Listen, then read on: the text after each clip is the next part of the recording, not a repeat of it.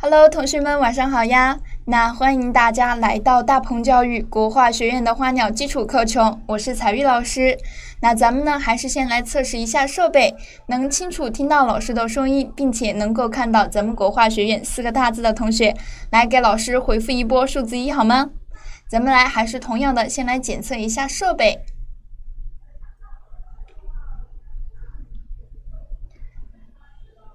好的，没有问题。那咱们呢就开始咱们的第二十节课程了。咱们课程进行到现在呢，啊也是非常快的，对吗？咱们同学的收获呢也是非常大的。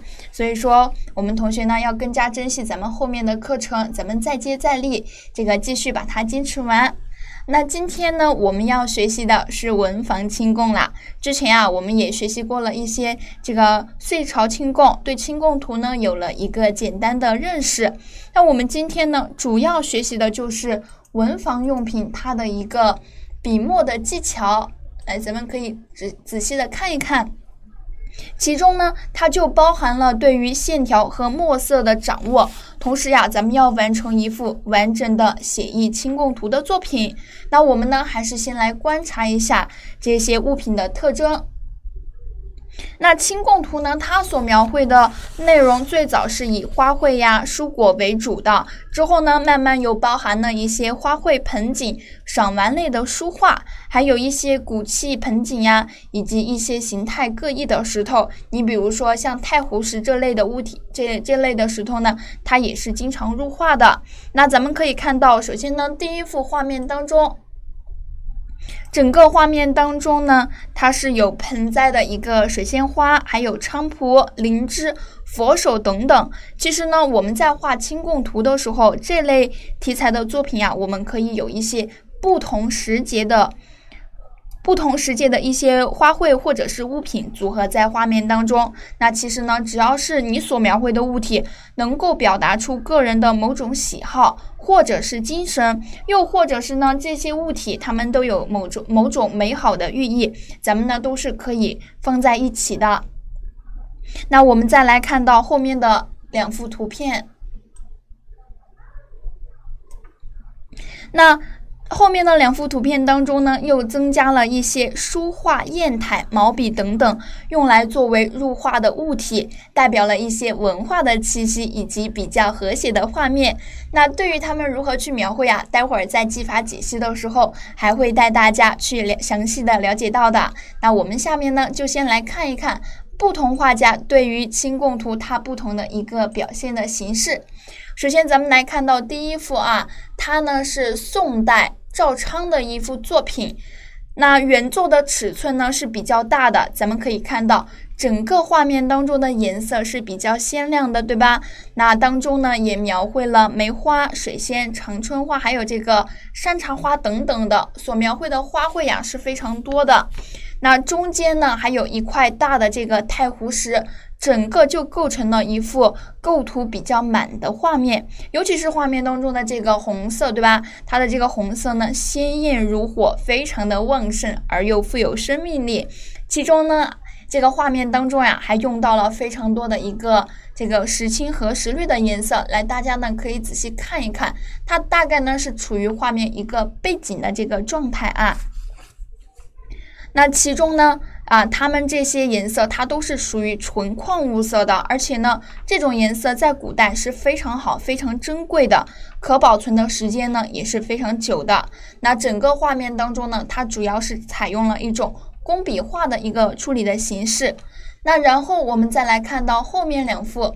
它是一个偏写意的一个形式了。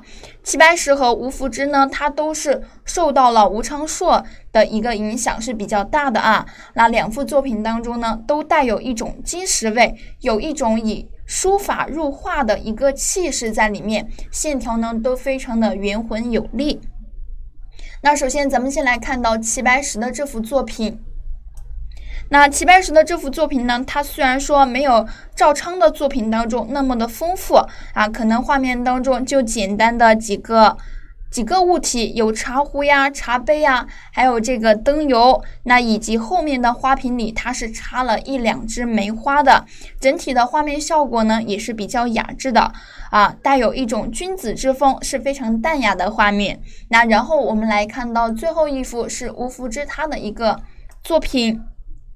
首先呢，咱们可以看到整个作品啊是一幅长条形的偏 S 型的构图。那咱们今天呢也是结合了这样的构图形式的。我们可以看到它的画面当中呢增加了一些这个翻页状态的书籍啊，整个作品啊都给人一种书卷的气息。整体画面呢也是比较干净和整洁的，颜色上呢会稍微的偏亮润一点。比例上呢，也是给大家了一个比较厚重的状态，对吧？那这个呢，就是今天给大家介绍介绍的三位画家了。如果有同学们喜欢啊某类画家的这个某个画家的作品，那大家呢课后也可以去搜集一些他们不同的作品来欣赏一下。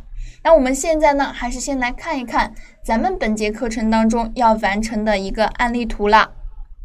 那今天的这个作品呢，可能大家也提前预习过了，对吧？作品呢是比较大的，是一个四尺对裁的纸张。咱们今天呢，也是画面当中采用了一个不太规则的这么一个 S 型的构图。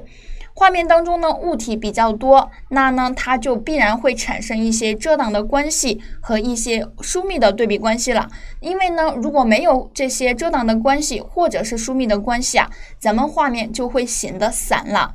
墨色之间的这个关系呢，也是你看上面这一块它是。哎，比较重的，给大家稍微框一下。上面这块呢比较重，中间这块呢也有一个比较重的。再往下方这儿，这个砚台呢，它也是一个比较重的。这样呢，整个画面都会产生一个相呼应的关系。这个呢，就是表现构图之间的一个形式了。同时呢，我们今天这幅作品的啊，在落款上也是有讲究的。你比如说，咱们今天画面右方呢，它的一个墨色是比较多的，对吧？偏重了一些。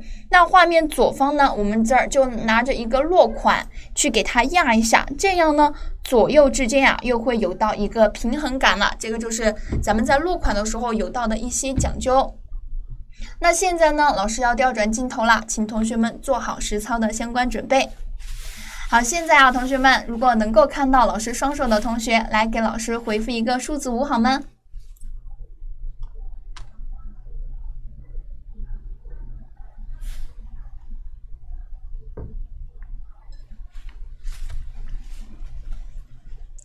好的，没有问题。那首先呢，咱们今天啊，先给大家去讲解一下咱们毛笔的画法，对不对？其实呢，你看大家平时都在用毛笔，咱们呀就可以拿出咱们的这个毛笔来写写生。咱们拿着咱们的自己的毛笔呢，来放在这儿一块观察一下。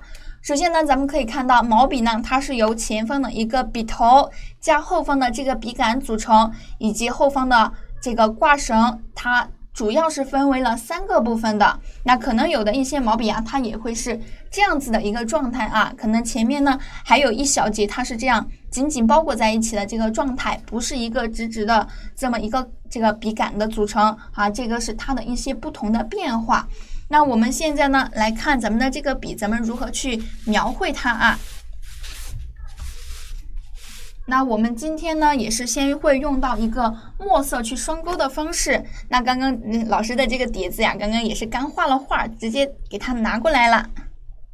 大家呢也可以拿出咱们自己的小碟子，倒上一点墨汁。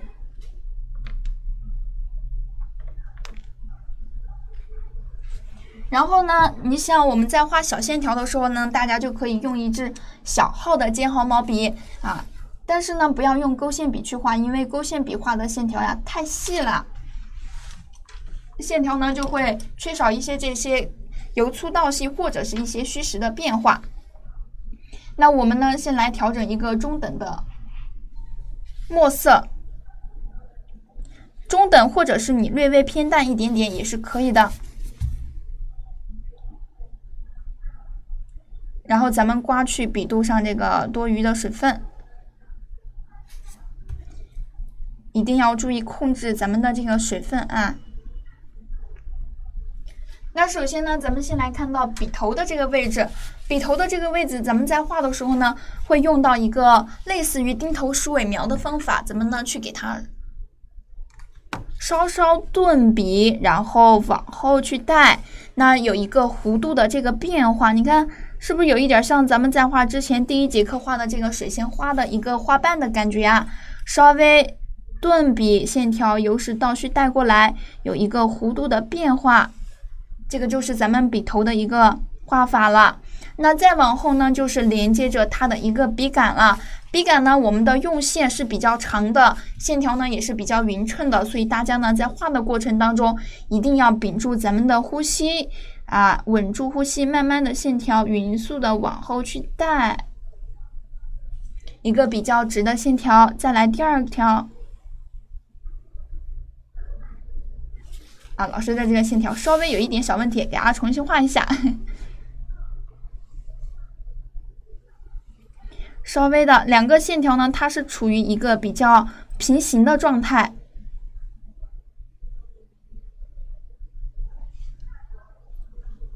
前面没有听到，不着急，那你课后呢，再把前面的这个部分给它补一下。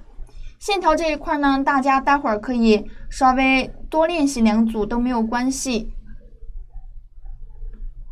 然后呢，它画到后方的时候，用的是一支小号的尖毫毛笔。画到后方的时候呢，它会有一个小小的这个挂绳，咱们把这个挂绳呢给它表示出来，也是一个中锋行笔的线条。它的挂绳呢，有的直接是这样去缠绕过来的，有的时候呢，它是那种像这样的挂绳一样，它是打了结的，对不对？那这种打了结的挂绳呢，咱们就直接是中锋行笔带过来，稍微顿笔再带出去。下方带过来，稍微顿笔，再给它带出去就可以了。这个就是挂绳的两种画法，第一种，这个是第二种。画的时候呢，你看，因为我们的毛笔前面有一些毛毛的这种感觉，对不对？那我们就把我们的笔呢稍微擦的干一点儿，然后呢，从前方往后去，用比较干的笔触往后去给它带一下。这个就是咱们笔尖的一个。处理形式了，一定要用比较干涩的笔触啊。那我们在画的时候呢，除了这样的一种画法之外，它还有一种画法，就是那种直接用墨色去表现的。那我们呢，首先来调整一个偏淡一点的墨色，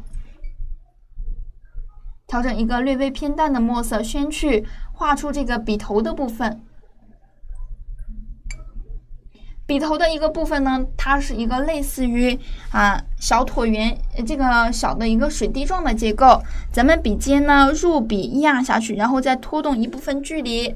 你看这个就是它的一个笔尖了，对吧？再往后方呢就是它的一个笔杆。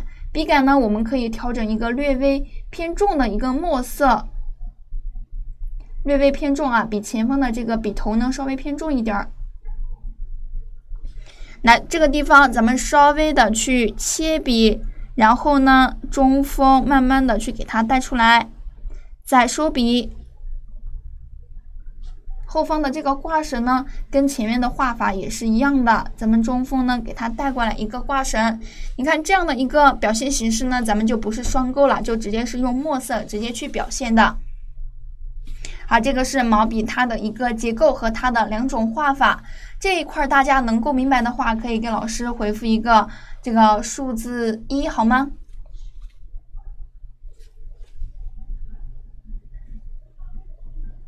主要是咱们这一块画线条，是不是啊？大家觉得这一块画线条啊，如果有点难的话呢，现在待会儿给大家一分钟的时间，我们在画案例的时候啊，给大家一分钟的时间，先练习几组几组这样的线条，我们再去画。好，没有问题。那我们现在呢，给大家去讲解一下咱们砚台的一个画法。首先呢，我们的砚台，我们先用这个平，类似于立方体的一个表现形式去给大家讲解一下它的结构啊。它呢，你看像一个嗯长方体一样的，对吧？长方体呢，大家都知道它是一个这样的形式，有一些这个透视的关系。下方这呢，就是它的一个厚度了。你看下方这里是它的厚度，颜色呢是比较重的，我们用这些斜线条给它表示呀，这个是它比较厚重的地方。待会儿我们要把这个地方的颜色呢给它画的厚重一点。那我们现在呢，先用偏重一点的墨色啊，墨色一定要重一点儿，调整一个重墨色。然后呢，我们先画出上面的这个部分。其实呀，砚台的造型比较多，有一些呢它是比较偏圆润的，有一些呢它是比较偏这种长方体的。咱们带过来，肥皂盒 有一点像啊。啊，这个是你看，这个就是它上方的一个结构了。前面呢会稍微偏啊宽一点点，后方呢会稍微的偏窄一点点。这个呢就是它的一个透视的变化了。好，然后咱们再往下呢，你看下方这儿还有它的一个厚度，对吧？它不是那么单薄的。我们呢把它下方的这个厚度给它添加上。用线在用线的时候呢，你的线条稍微有一些这个方中带圆的感觉。再往回画呢，你看它们基本上是处于一个平行的状态。慢慢的去画到后方，再给它呢连接过来。线条呢，不要太过于啊，像一根铁线一样的。你看，线条有的时候有一些这个粗细的变化呀，这个由实到虚的变化，还有一些这种这样的转折呢，才会显得咱们的线条更加的灵动。这个是咱们一定要注意到的。那我们在画的时候呢，砚台它不只是这样一个平板型的，对吧？它肯定要能够去沉墨汁的地方，咱们把它上方呢画出来两个小格。你看它的边缘处都是跟外轮廓基本上是平行的一个状态。来，第一个格子，第二个格子呢，你可以略微的去画的偏小一点点。啊，这个就是它的一个砚台的外轮廓了。基本上呢，咱们把这个双钩的形式勾勒好之后，我们现在呢就可以去添加颜色。我们再去添加它的一个颜色，去表现出它的一个体积感的时候呢，我们要先用重色去皴擦一下。你看它侧面是它的一个阴面，还有它的这个里边的这个边缘处呢，也是它的一个阴面，对吧？我们呢先把它的一个阴面用偏重一点的颜色，然后呢给它。调整的偏干一点，一定要擦去笔肚上多余的水，调整的偏干，我们再去皴擦。皴擦的时候呢，咱们的笔呢稍微偏侧一点，你看从这个外轮廓处擦皴擦过来，不要把这一块呢皴擦的太满了，要有一些飞白，一定要有留下飞白啊。那我下次看作业的时候，看谁给我全部擦的黑黑的了啊。来，再往外去皴擦，咱们的笔呢偏侧一点点，你可能在转弯的时候呢，它颜色可以偏重一点儿。那你再往中间去擦的时候呢，它就会留白了。这个时候呢，咱们就让它留白，不要全部把它擦的太黑。擦到这一块呢，我们如果笔上的颜色不够了，我们再来调整颜色，从后往中间去给它皴擦，这样呢，中间这一块它的颜色就是自然而然流出来的这个飞白的感觉了。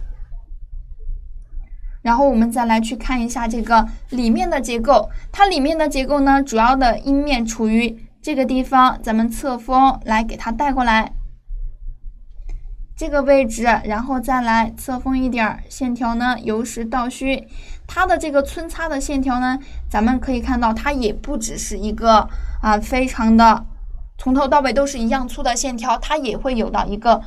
宽窄的变化，可能这里稍宽，再到这里呢，会稍微有一点点偏窄。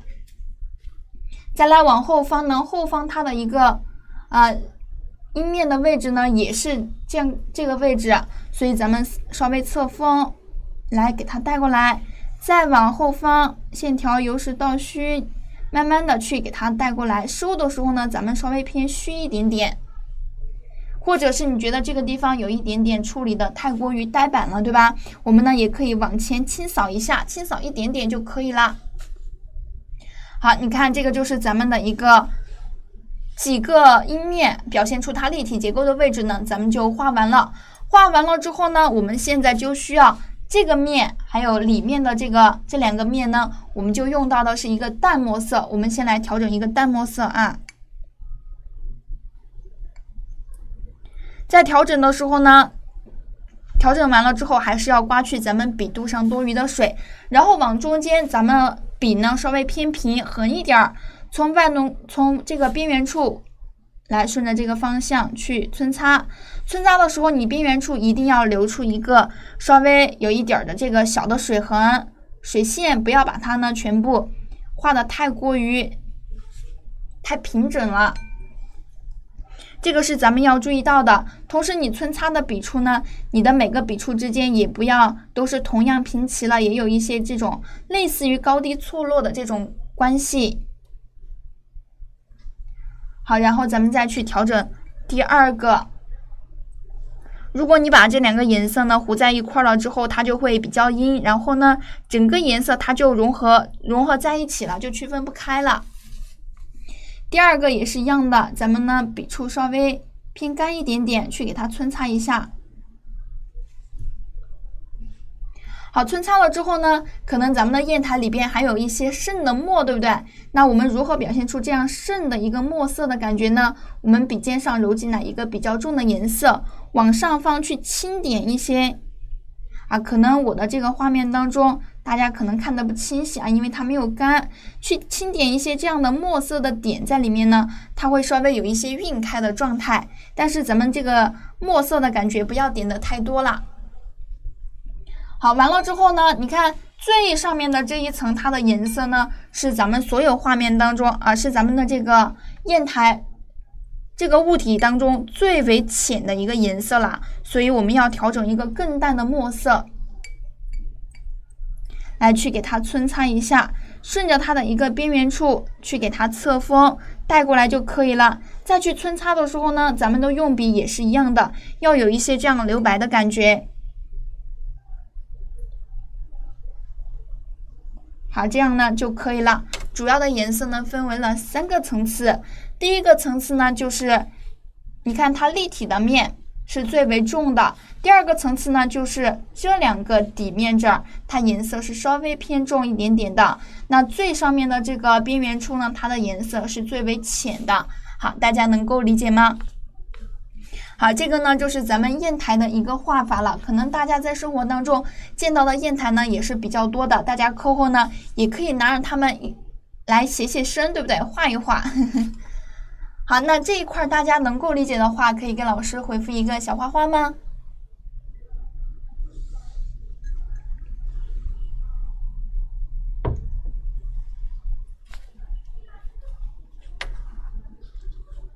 好，这一块如果能够理解的同学呢，可以给老师回复一个小花花，或者是一个数字一都可以。有什么问题呢？大家也可以通过弹幕提出来。比如说你哪个地方觉得没有听明白啊，也可以说出来的。好的，没有问题。那我们下一步呢，就给大家去讲解一下咱们的这个书籍。大家如果手边上有有书籍，对不对？拿出来跟咱们一块儿来观察观察。那我呢，也是给大家带来了咱们的一个小模特儿。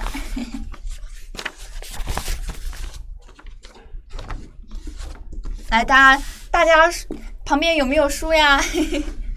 来跟我们来一起折一折啊！比如说咱们的这本书，然后呢，我们稍微的给它有一些翻页的这个感觉。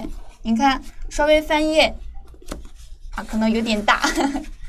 你看它稍微翻页了之后，就跟咱们案例图当中所看到的这一个比较相似了，对吧？首先呢，它这个地方有一个翻转出来的感觉啊，还有前方这儿呢是它的一个。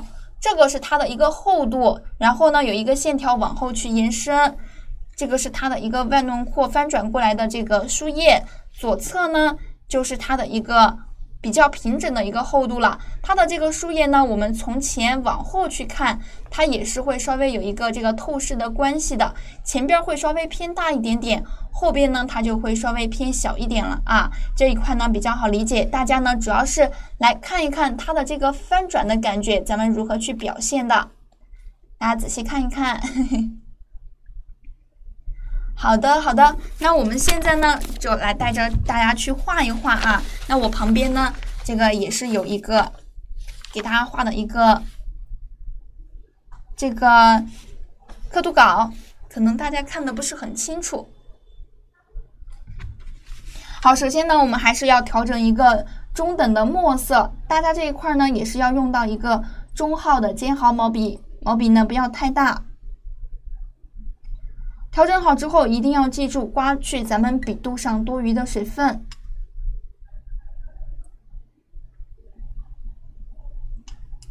好，然后呢，我们先来画的时候，先画出它的一个厚度，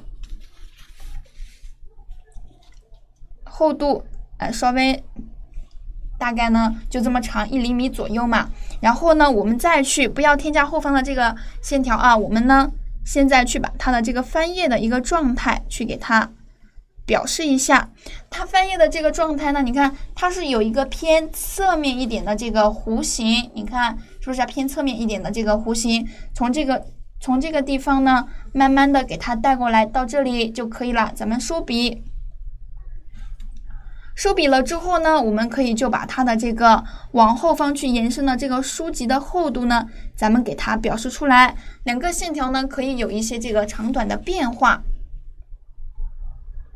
好，然后我们再来去把这个翻页的厚度呢，从中间处咱们去这个起笔，不要从前方这儿了，稍微空一小格，去处理出来它的这个翻转的一个厚度。翻转的厚度呢，它是一个到了中间处会比较窄，你看这个双钩的线条，到了中间处慢慢变窄，再到下方，下方这呢也会变窄，中间窄，这里窄，左右两边呢是比较宽的，你看这这两边比较的宽。好，然后呢，我们这个地方画完之后，再往左侧画出整个书籍它的一个比较平整的这一个部分了。线条呢稍微有一些起伏的变化，慢慢的去给它带过来。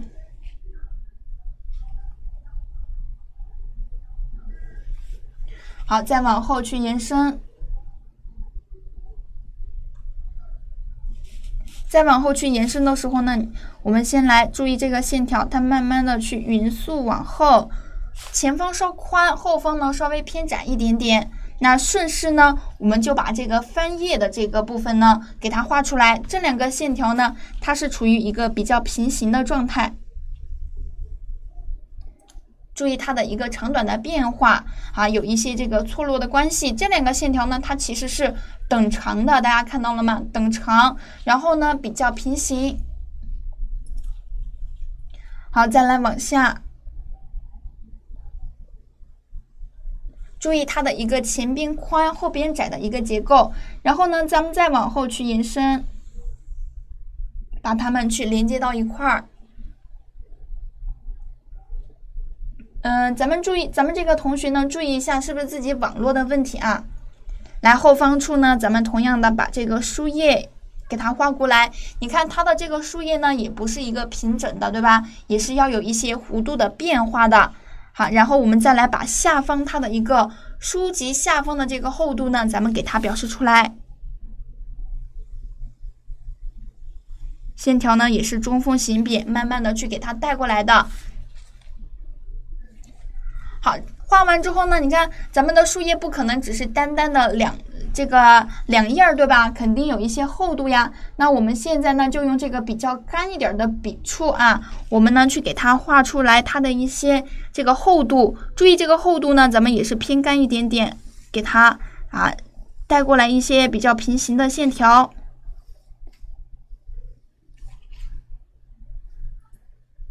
这个部分呢也是一样的，从这个地方咱们去起笔，往后去带，再来去皴擦，中锋去给它画出来一些偏干涩的线条，画出一些书页的变化和厚度。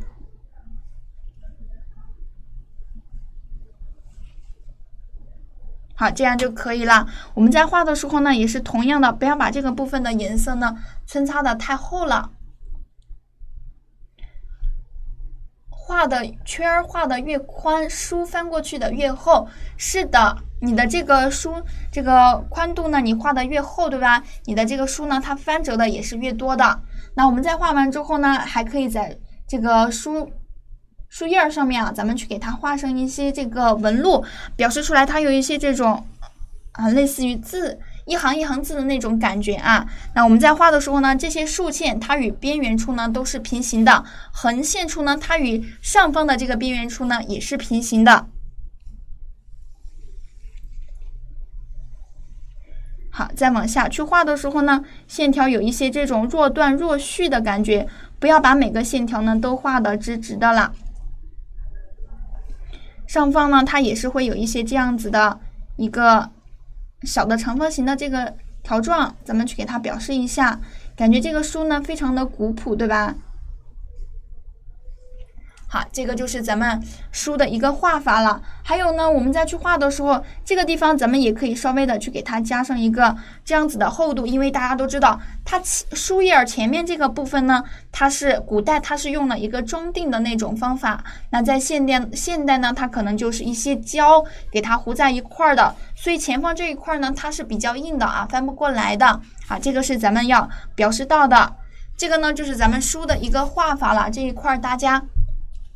啊，还是同样的。如果这个书呢，对于它翻转的这个结构能够明白的同学，还是给老师回复一个数字二好吗？那主要呢是可以是看一看大家是不是对这一块都能够掌握了。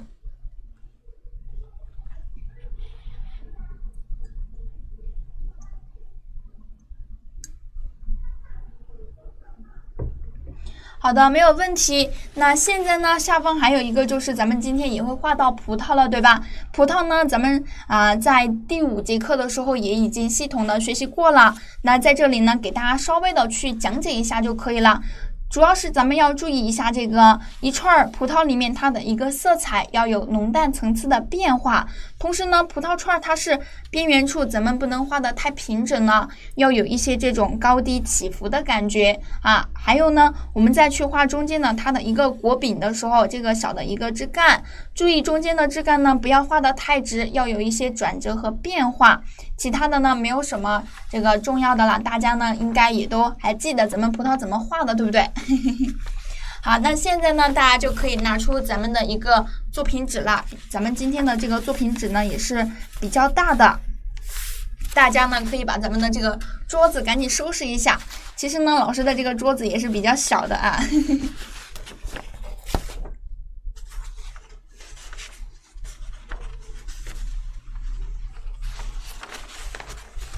那我们在画的过程当中呢，可能稍稍的会把咱们的这个纸呢给它啊折一折。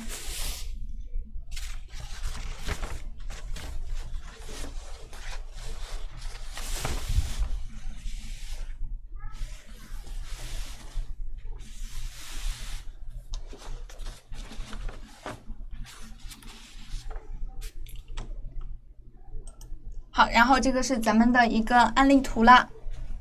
那首先呢，我们主要画到的是处于咱们画面的一个左下方的这个砚台和这个毛笔啊。大家呢，首先我们先来找一找这个毛笔它的一个位置。毛笔的这个位置呢，它的一个最下方处是在，可能要稍微给大家放小一点了，要不然大家可能看不到。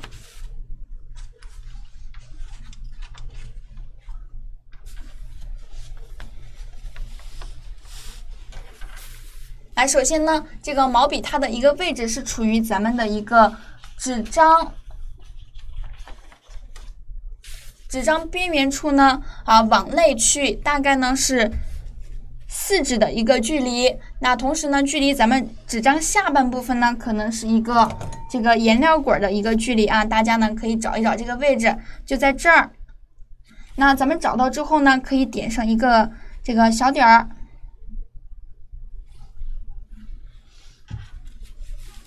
它的一个最上方的位置呢，来，我们先把这两个点找到啊。大家都知道，两个点连成一条线，对吧？最上方的这个点呢，它是在咱们的一个中轴线往右处一指的距离，距离上方的一个横中线这儿呢，可能是一个，也是一个颜料管的距离，所以就在这儿。来，我们呢还是同样的点上一个小点儿。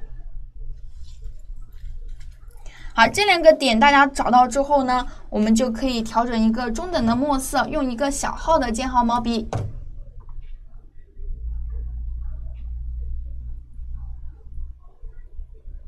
调整一个中等的墨色，然后呢，一定要控制一下咱们笔肚上的这个水分，刮去笔肚上多余的这个水分啊。来画的时候呢，大家屏住咱们的呼吸，来不要讲话，咱们呢集中精力，线条呢由实到虚的，咱们给它画过来。我们在画的时候呢，尽量是拿咱们的一个手肘去这个发力。啊，这个是咱们的第一根线条。第二根线条呢，可能它的一个毛笔的宽度，对吧？是刚好是咱们的手指头，刚好一个手指头的这个宽度。大家呢在画的时候注意一下它的宽度啊。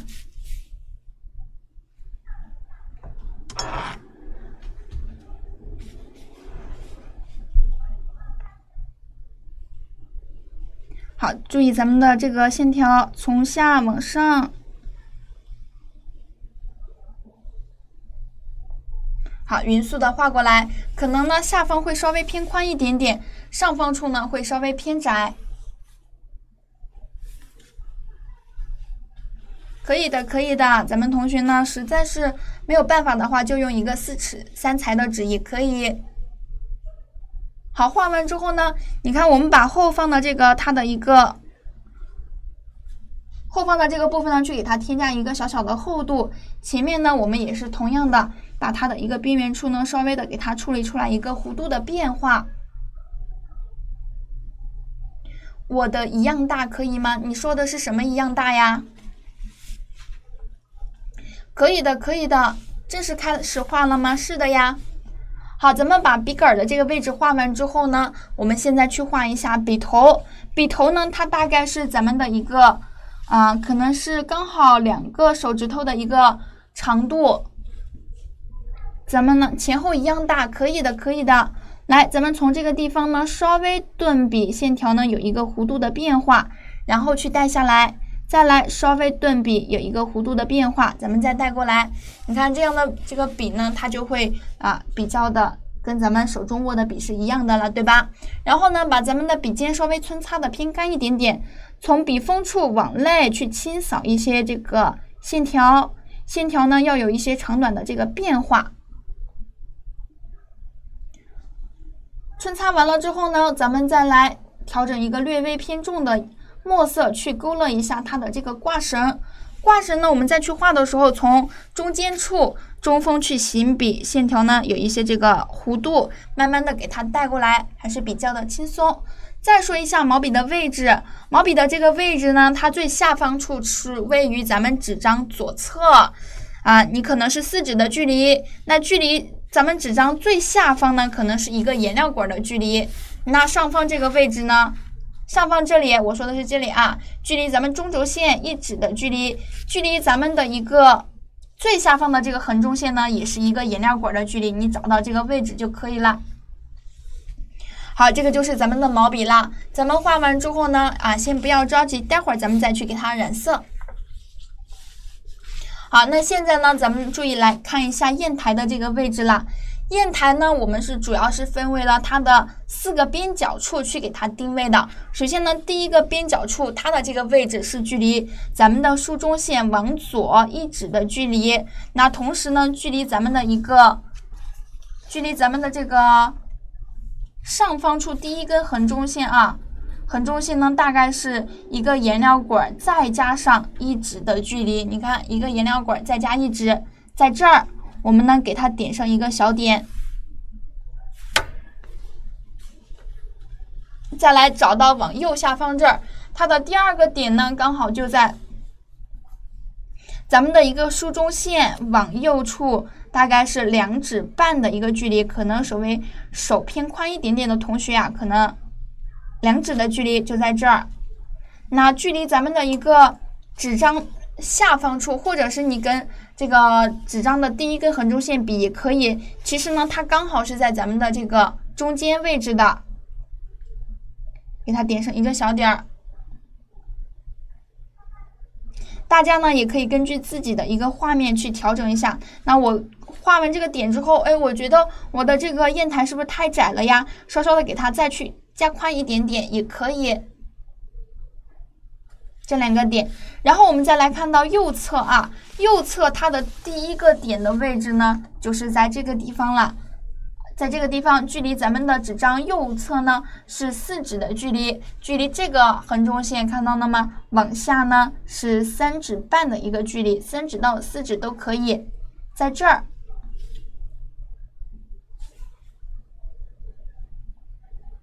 好，再来往下呢，你看，再来往下照到找到这个这个点的位置，这个点呢，它距离咱们纸张边缘处可能就是两个手指头的距离了啊。距离咱们的第一根横中线呢，是一个颜料管的位置，一个颜料管的距离，所以也在这儿。好，那这个就是咱们砚台的一个位置了，大家这一块定好了吗？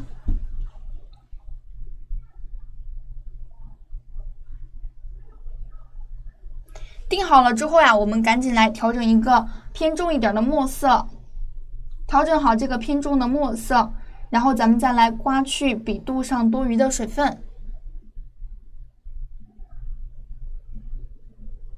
我们在去画的时候呢，一定要注意这个线条不要太实了，要有一些这个虚实的变化。中锋，咱们先把上方的这个线条呢，给它画过来。可能我们在画的时候呢，你不一定是从这个地方开始起笔，稍微有一些这个上下的松动的感觉呢，也是可以的。好，边缘处呢，边角处咱们不要画成正方形的了啊，它边角处呢是要有弧度的变化的。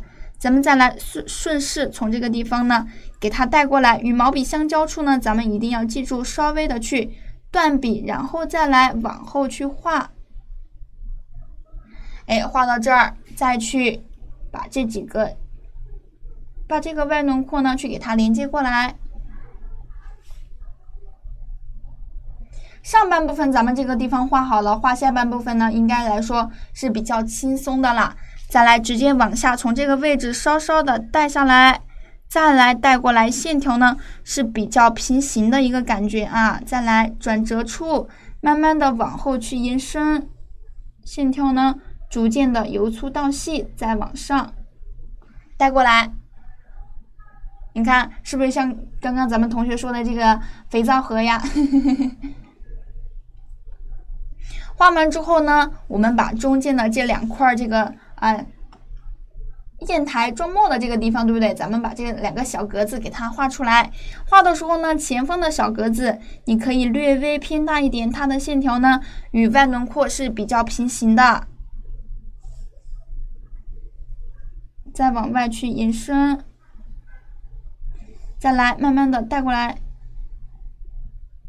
咱们在画的时候呢，你线条尽量有一些这个啊粗细啊，这个转折的变化，其实是更好一点的。再来往后方去延伸。好，咱们这个砚台的外轮廓，大家这一块画好了吗？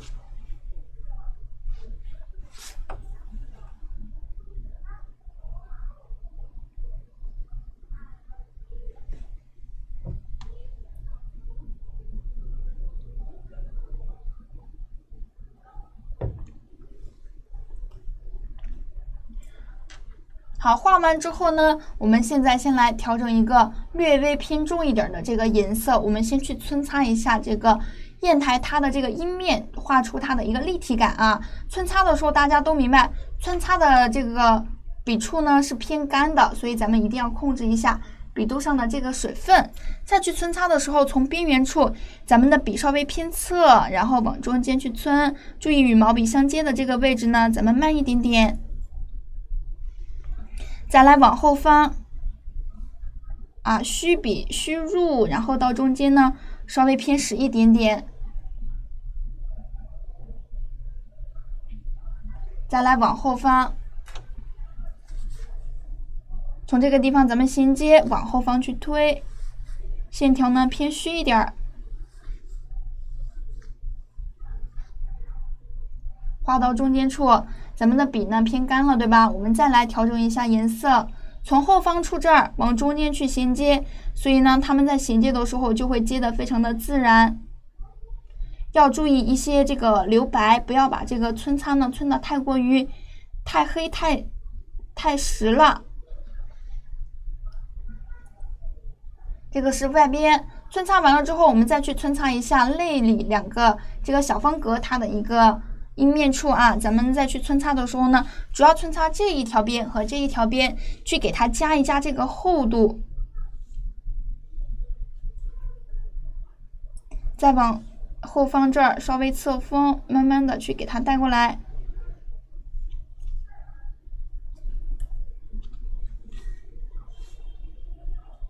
你想要让它更衔接的自然一点呢，你也可以是稍微的把这个边缘处往上来，稍微的带进来一点点也可以。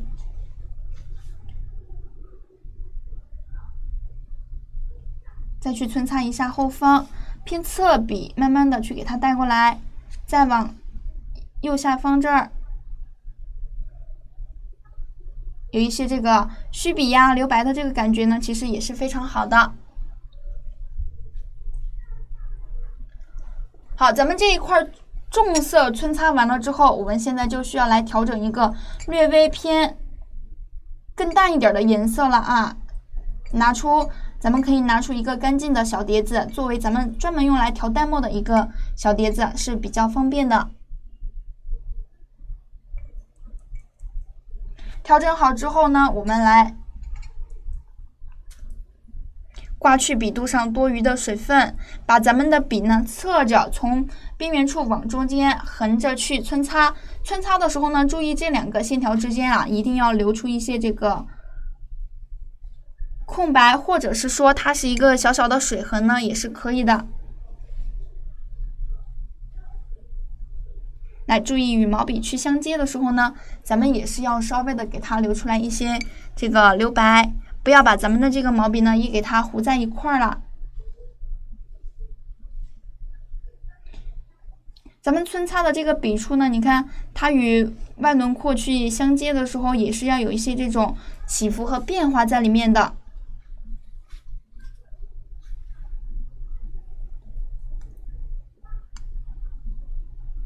好的，好的，来第二个小格子，咱们同样的方式，笔横着啊。从边缘处呢，咱们去给它带过来。注意，我们再去画的时候呢，尽量一两笔给它皴擦到位，不要来回去补笔。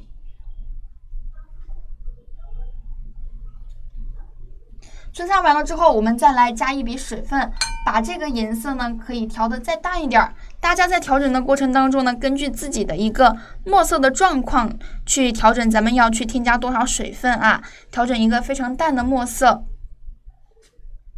好，然后呢，咱们顺着这个边缘处，还是把咱们的笔呢偏侧，给它慢慢的去清扫。清扫的时候呢，也是不要把它扫的太实了，有一些这个虚笔呀、留白的这个感觉。你看墨色它的一个层次的变化呢，就非常的丰富了。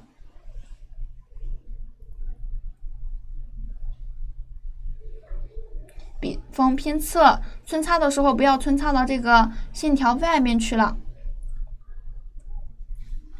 好，这个就是咱们砚台的一个画法了。画完之后呢，我们再来拿这个淡墨色，我们现在呢再去画一下这个，稍微的皴擦一下这个毛笔的外轮廓，顺着它的一个线条边缘处，稍微的去给它皴擦上这样的一些线条。线条呢，不要皴擦的太多，可能呢也就一两笔就可以啦。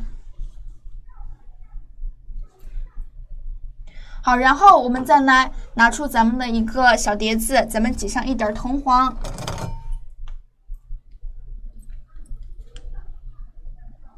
挤上这个藤黄之后，不要着急用，我们要调整到的呢是一个藤黄加淡墨的颜色啊，藤黄加淡墨。这个颜色呢，一定要调的非常的淡，来，大概呢调到这样的一个状态就可以了。然后我们去给它把咱们的这个笔杆呢，稍微的给它染上一下颜色。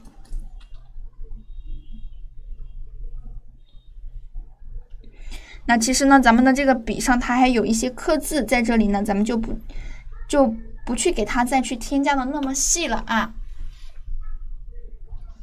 好，这个呢就是咱们的一个毛笔和砚台的画法了。这块画完呢，先稍微的等一下大家。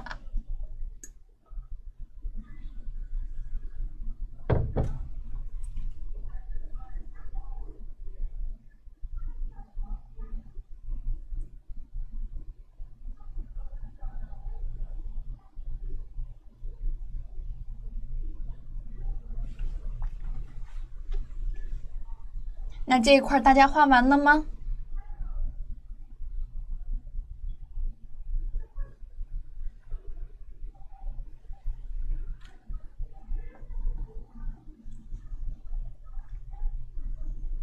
好，那我们现在呢要往下来看到咱们的这个临近球的部分了，大家还记得吗？它的这个临近球呢，其实它就是水仙花的临近球，是不是？我们学习到的内容又复习了一下呀。首先呢，我们先来找到它的一个位置啊，它的这个位置呢，注意我们在找的时候，主要是根据它的一个左最左侧、最右侧和最上方的一个位置去确定的。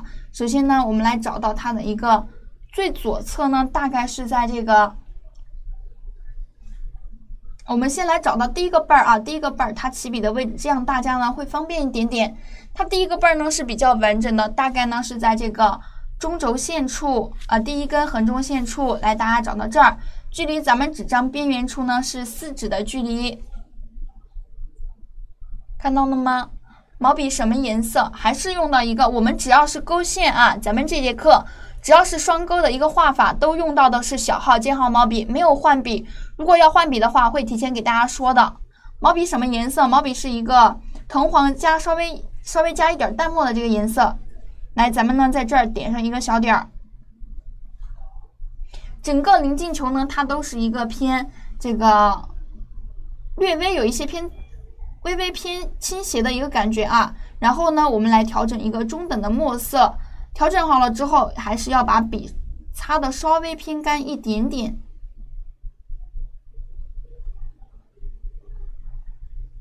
找到这个位置，线条呢是一个略微带钉头鼠尾苗的感觉，慢慢的给它带下来，像是画一个花瓣的感觉。线条呢不要太过于圆润了，要有一些这种方折的感觉。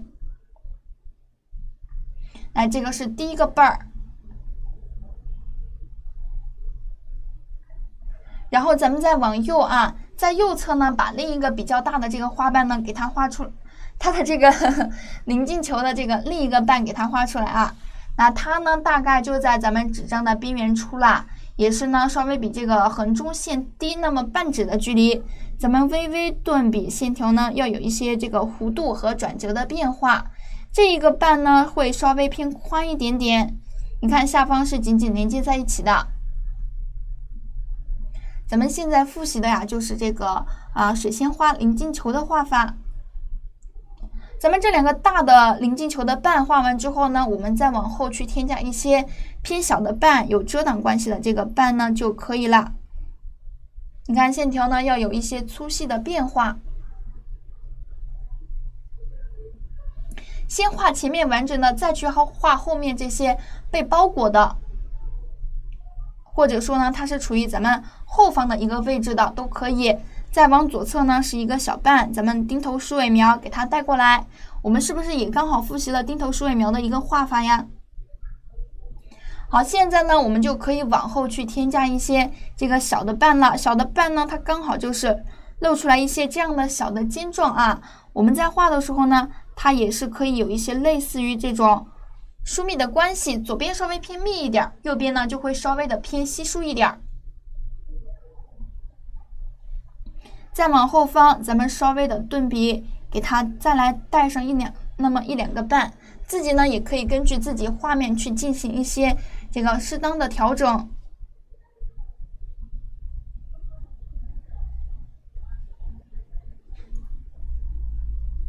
画完之后，我们现在拿着这个比较偏干的笔触，从下往上顺着它的这个结构去给它去增加一些它的这个体积感，也就是说去增加一下它的这个结构。笔呢稍微偏侧一点点，把咱们的中锋给它压下去，去皴擦一些这种有高低起伏的线条。你主要皴擦在下方啊，不要把整个临近球都去给它皴擦上了。后方的呢，咱们就稍微的给它带上一两个小的笔触就可以了。如果你需要的话呢，你也可以在笔尖这个呃临近球的肩部呢，稍微的给它带上来一点点这样的干涩的笔触呢，也是可以的。你看，这样带下来一点儿也可以。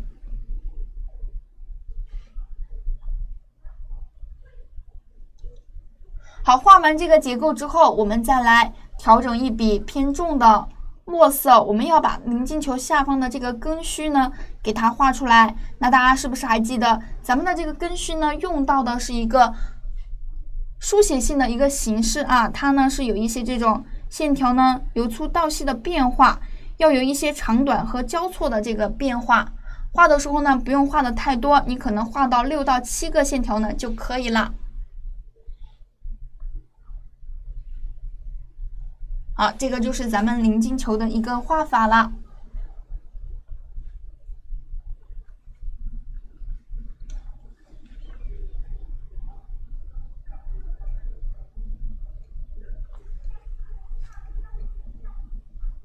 画完之后呢，你看我们下一个要画到的物体，大家是不是还有印象呀？我们在睡巢睡巢清供图的时候呢，都学习过了这个柿子的画法了，对不对？这个柿子呢，刚好咱们今天呀，又可以给它再来复习一遍。咱们柿子用到的颜色呢，来大老师考一考大家啊，还记不记得咱们柿子用到的颜色是哪两个颜色呀？什么球？临近球。这个是水仙花，它的一个种球叫临近球部分。咱们柿子用到的颜色呀，就是一个朱标加曙红的颜色。主要呢，在咱们画面当中描绘的还是一个啊颜色偏红一点的这个柿子。所以说，我们的这个还是用到的朱标和曙红的颜色。这样的颜色呢，也能够表现出一种比较喜庆、万事如意的一个状态，对不对？寓意非常的好。还以为是荷花，刚刚我给大我给大家讲过呀，我们在画之前就说了，它是一个水仙花的临近球，竹鼠，简洁明了。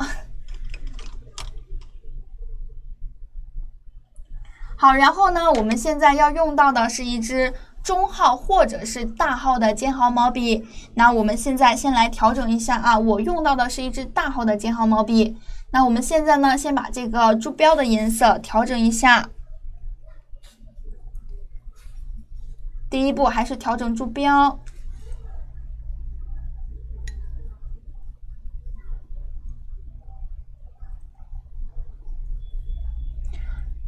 感觉像是多肉呀，感觉像，但它不是。好，然后我们第二步再往笔尖处去调整一个这个曙红的颜色，咱们呢大概揉在笔尖处三分之一，颜色呢会超稍微的偏重一点点。来揉到笔尖处了，然后呢，我们来看到咱们的这个柿子的画法。咱们今天的柿子呢，可以可能会稍微有一点点不同的画法啊，也是给大家去稍微拓展一下。柿子起笔的位置呢，它大概是在咱们的一个第一个横中线往上啊两到三指的距离，在这儿你看，距离咱们竖中线呢可能是三指的距离，在这个位置，大家呢也可以稍微的点上一个小点，一定要小。好，我们在画的时候呢，它很可能跟这个临近球的部分有一些遮挡的关系，所以我们在画到临近球这个部分的时候呢，稍微偏慢一点点。来，咱们的笔锋稍微偏侧，然后中锋，慢慢的把咱们的笔度呢给它压过来，压过来了之后，再去进行一下这个调整，让咱们画的这个部分呢偏圆润一点点。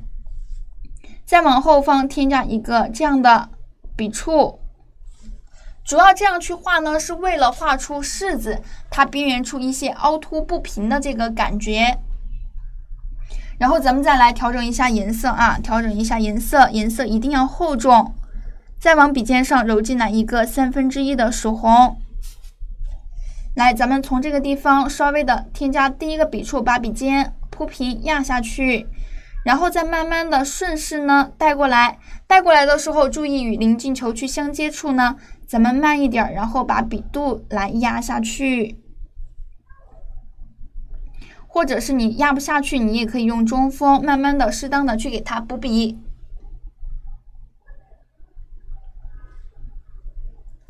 好，画完之后，我们来画出它的第二层。第二层呢，我们在画的时候，笔尖你可以从这个地方入笔。留出它的一个这个弧度处啊，然后呢一两笔给它带过来，慢慢的到临近球这个部分处呢，咱们适当的慢一点，小心的处理一下它的这个结构。如果你觉得这个柿子你在画的过程当中，你想要让它更加的厚重一点点呢，你也可以把下方的这个部分画的再偏厚一点儿，也是可以的。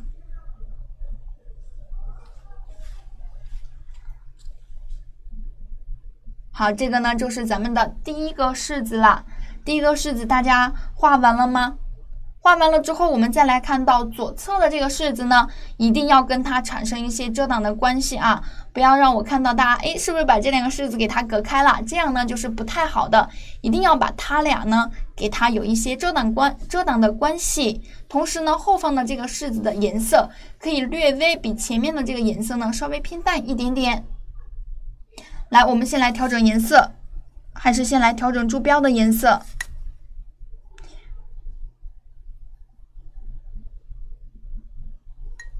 调整好了之后，我们还是同样的在笔尖上呢去揉进来一个曙红色。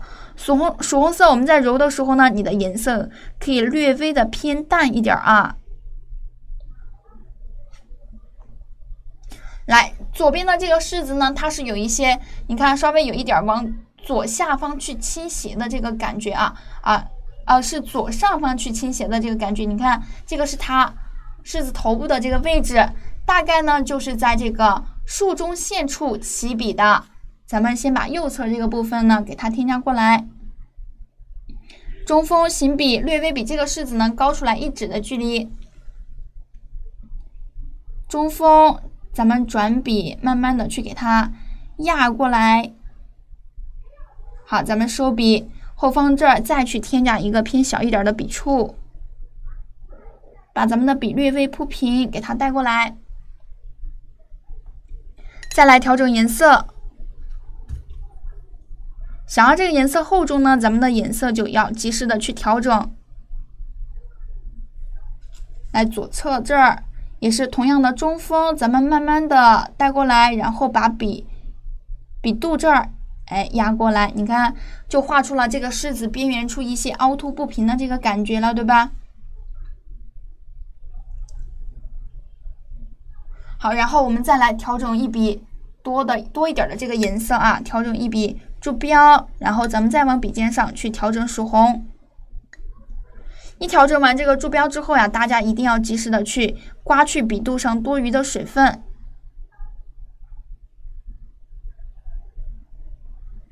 好，然后呢，咱们笔尖处从这个位置去起笔，不要出去太多，从它的一个下方稍微空开一个水痕，把咱们的笔侧锋给它推过来。你在推的时候呢，注意一点，稍微有一点虚笔，慢慢的带过来就可以了，也是比较轻松的。如果你觉得下方呢不够饱满，咱们也可以趁湿再去给它补个一两笔。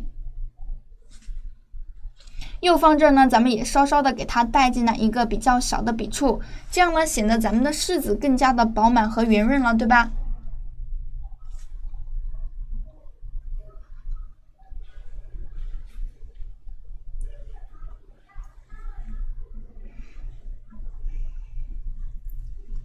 好，咱们这个柿子画完之后呢，我们现在需要拿出一支小号的尖毫毛笔，然后来调整一个略微偏重一点的墨色。我们需要来画一下后方的这个小的枝干。我们在画的时候呢，它这个小枝呀，主要是起到一个衬托的作用。这个小枝呢，它是一个往右下方去倾斜的状态啊。咱们从这个地方去起笔，稍微顿笔，然后线条由实到虚转折，慢慢的再带过来。注意呢，它会跟临近球去相接。再来往后方去穿插一些更小一点的小枝。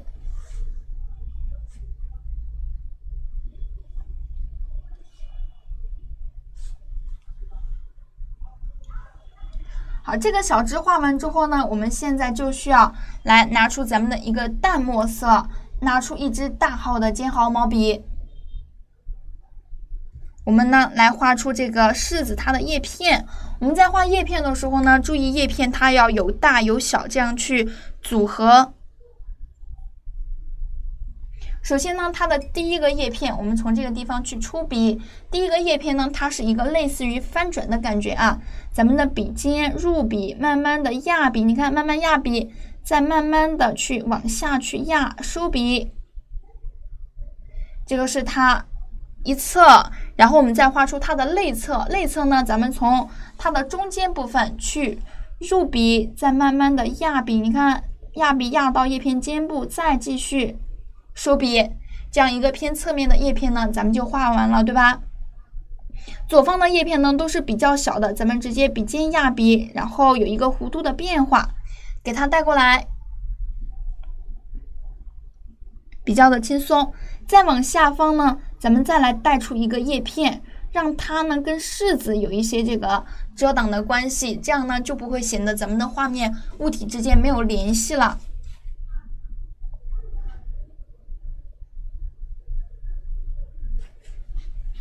这一块画完之后呢，由于咱们的柿子还有咱们的叶片都没有干，所以呢，我们先不要着急去添加它的叶脉和呃它的上方的一个果柄啊，我们一定要等它干完之后再去添加，要不然这样的话就会破坏咱们整个画面了。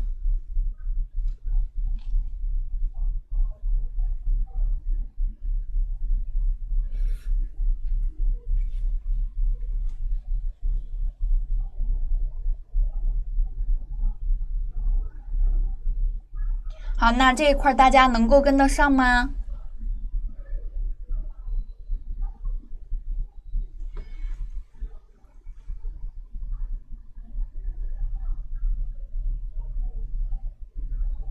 咱们这个凉凉青团同学真棒！其实啊，这个柿子像这样分为两层的柿子呢，在北方还是比较多见的，在咱们南方呀，还是那种。它整个是处于一体的那种柿子是比较常见的。好的，那我们现在呢要挪动画纸喽。待会儿咱们再回过头来画这个燕麦和果饼啊。如果待会儿老师忘了的话，大家一定要记得提醒我啊。咱们今天画面当中的内容实在是有点多。那我们现在呢要画的就是上方的这个灯盏了。这个灯盏呢，我们先从它的这个啊。点灯的这个位置开始画啊。首先呢，我们先来找到它的一个灯口的位置。灯口的位置呢，它就在这儿，距离它距离咱们的一个竖中线呢，刚好是一指的距离。那距离咱们的这个上方最中间的这个横中线啊，最中间的这个横中线呢，你看刚好是四指的距离。来，咱们点上一个小点儿。它右侧着呢，后方尾巴部分，它距离大概是在咱们的一个竖中线往下是可能是五指的距离了，所以就在这儿，它会比前方的这个灯盏处呢，这个肩部处呢稍微低一点点，距离咱们竖中线呢刚好也是四到五指的一个距离，在这儿，咱们呢给它点上一个小点儿。来是这样的一个结构，它的结构呢是上方、前方偏尖，后方有一些偏圆润的感觉，中间这儿呢有一些凹陷下去的这个状态啊。那我们现在呢，先来调整一个略微偏淡的墨色，略微偏淡。调整好之后，还是用到的是尖毫毛笔啊。调整好之后呢，刮去笔肚上多余的水分。找到它的这个口部是一个比较尖的，咱们呢稍微顿笔，线条由实到虚，到中间这儿呢，咱们可以略微的给它断开一点点，再来往后方慢慢的去带过来，前方这同样的中锋压笔有一个弧度，慢慢的去带过来，迟到了，迟到了是不是得给你罚罚站呀？没关系，没关系。现在呢，你可能前方的部分跟不上了，你这块这一会儿呢，跟着我先来局部练习一下啊。请你再讲一下位置。好，我再给同学讲一下位置啊。主要是第一个位置呢，它距离咱们竖中线往左一指的距离。距离咱们中间的这个横中线呢是四指的距离，这个是第一个点。右边处后方的这个点呢，它距离这个横中线可能就是五指的距离啦。距离咱们的竖中线呢是四指也可能是四到五指的一个距离，自己呢根据自己的画面去调整一下，找到这两个点。好，然后呢，我们把我们把它的一个厚度画出来，它的一个厚度呢是一个往下，你看它的厚度是这个样子的。大家有没有见过这样的灯盏呀？可能呢在生活当中没有见过，在一些这个什么电视剧当中有有可能见过，对吧？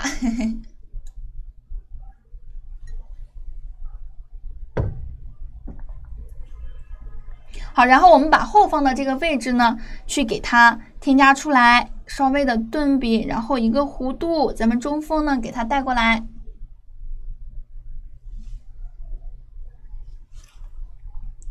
好，带过来了之后啊，咱们先不要着急，我们现在呢，啊，还是用着这个小号的尖毫毛笔，灯多宽，一个颜料管这么宽，哎，刚刚好一个颜料管这么宽。好，然后呢，我们需要来调整一笔比较重的浓墨色啊，一定要重一点儿。然后呢，我们去添加一下它后方的这个厚度，四尺对裁长宽分别是多少？四尺对裁长宽，呃，可能我记得不太清楚了啊，嗯，有没有同学知道了呀？四尺对裁的这个长度和宽度，给咱们这位同学说一下。因为我平时呢是直接拿这个四尺的纸去对裁的，所以我一般没有在意它的一个。啊，多少厘米？好，来，然后我们从后方这儿，你看，从中后方这儿，咱们稍微的给它去添加一个这个偏重的墨色彩，中间压笔慢慢的往下来带过来，然后呢，再往前去推一下，然后去处理一下它的一个边缘处啊。谢谢咱们同学。咱们咱们同学都是我的好助手，主要呢是处理出来它的一个这样子的厚度，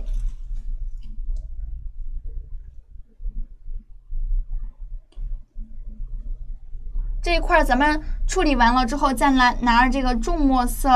然后呢，我们把下方这儿，你看它还有一个一个小圈儿，慢慢的从这个地方去入笔，就在刚好在这个灯盏最下方，我们再去画的这个宽度呢，可能大概是两指宽，一个小圈儿，咱们从中间中锋压笔，慢慢的给它带过来。来，如果觉得不够宽呢，咱们可以适当去调整。咱们唯有画画同学 终于见到了，灯画小了，呃，灯画小了没关系，咱们继续接着把它画完。咱们画到这个上方灯盏这儿画完了，我们要画出它下方的这个灯。灯盏的这个杆，对吧？还有下方的这个灯灯盏的底座。首先呢，我们要画这个杆的时候，还是要先来找到它最上方和最下方的两个点啊。最上方的点呢，就在这个小圈的中间；最下方的点呢，它可能距离咱们柿子的一个位置，你看，距离柿子的位置呢，可能往上去是。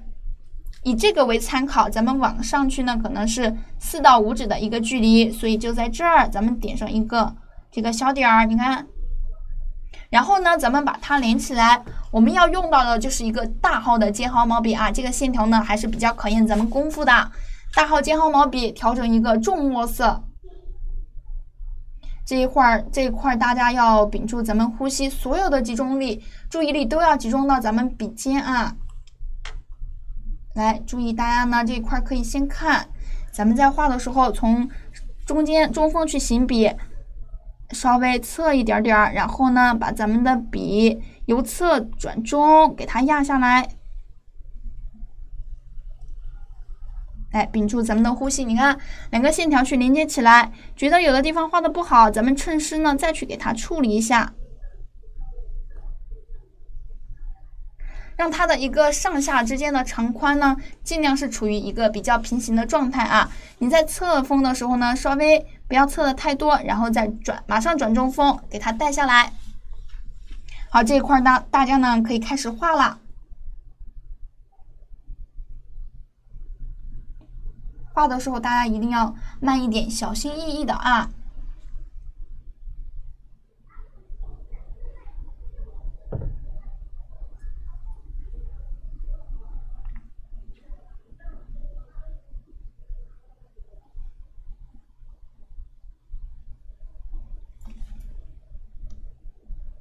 好，那咱们画完之后呢，要把它的一个把手处给它添加出来了。注意它的把手处呢，这个把手上下方两个线条距离有多宽呢？可能就是啊，不用颜料管，咱们呢可能是五指的距离，在这儿咱们去起笔还是中锋，线条稍微偏粗，慢慢的去给它带过来，转笔慢一点儿，哎，带过来就可以了。你看线条呢都是比较厚重沉稳的。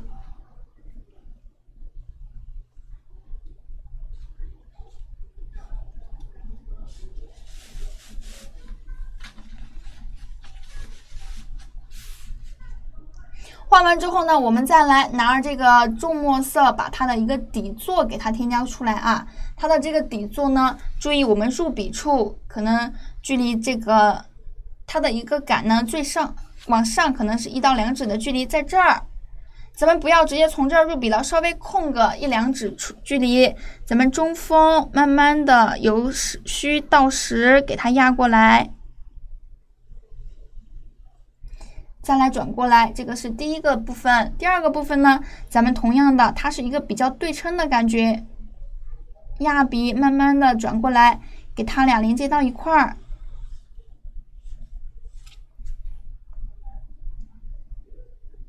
这个底座的面儿画完之后呢，我们再把它下方的一些这个能够让它立起来的这个几个小的部分，对吧？我们去给它添加一下。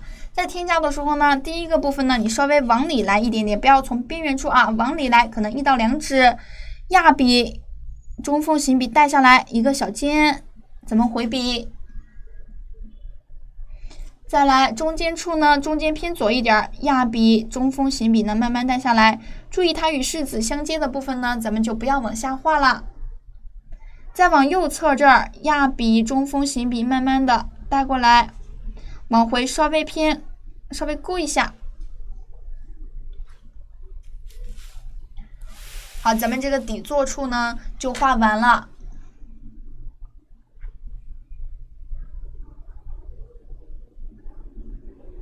画完之后呢，我们把它的一个灯芯去给它添加上。没有灯芯，它怎么能够点燃呀？对吧？灯芯呢，中锋去行笔，从这个肩部中锋行笔带进来一个这样的一个由实到虚的线条。腿没位置啦，什么地方没位置啦？你是说中间吗？还是左右两侧呀？如果实在没位置呢，你就不去处理它就可以了啊，让它们自然而然的产生一些遮挡的关系也可以。好，灯芯的位置咱们就处理好了，对吧？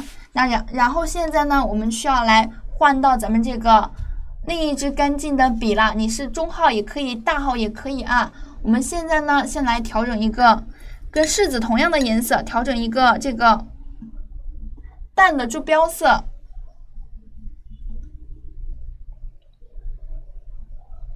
调整到笔肚，然后呢，刮去笔肚上多余的水分，稍微偏干一点点。笔尖上呢，咱咱们再少量的揉上一点的这个偏重一点的曙红色，揉在笔尖。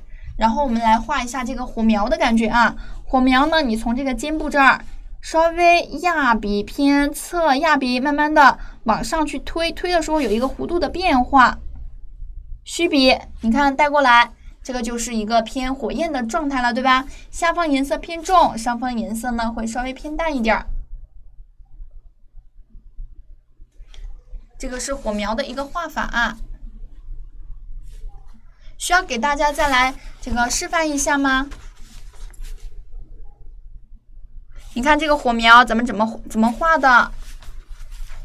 稍微笔侧锋一点，压笔，然后笔肚压下去，慢慢的往上方收笔。你看，压笔往上方，慢慢的去虚虚笔给它收上来，一定要虚。这个火苗呢，你不要直直的去给它画上去了啊，压笔有一个弧度的变化，慢慢的再收笔，你看就可以啦。比较的简单，哎呀，把咱们这个，所以说大家用小稿纸的时候不要像老师这样了，对吧？把咱们的画面都给影响啦。好，然后呢，我们现在呢就来调整一个非常非常淡的一个珠标的颜色啊，非常非常的淡，调整一个非常非常淡的珠标色。然后呢，我们把这个中间处添加一点这个类似于灯油的这个感觉。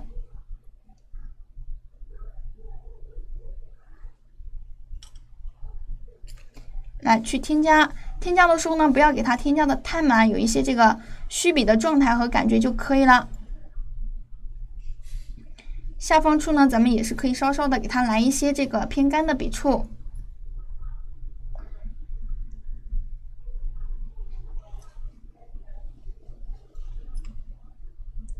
好，咱们这一块画完之后呢，我们现在需要来处理一下的，就是咱们下方这个底座这儿用到是一个。淡墨色，然后呢，一支大号的尖毫毛笔，一定要偏干一点点啊，墨色偏淡。好，然后咱们刮去笔肚上多余的这个水分，去给它皴擦一下。皴擦的时候呢，你直接拿着咱们的中锋去给它铺一下，你看，从中间往两边去。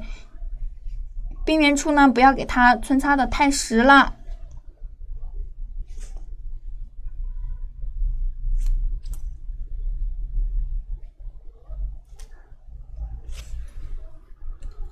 好，这样呢就可以了。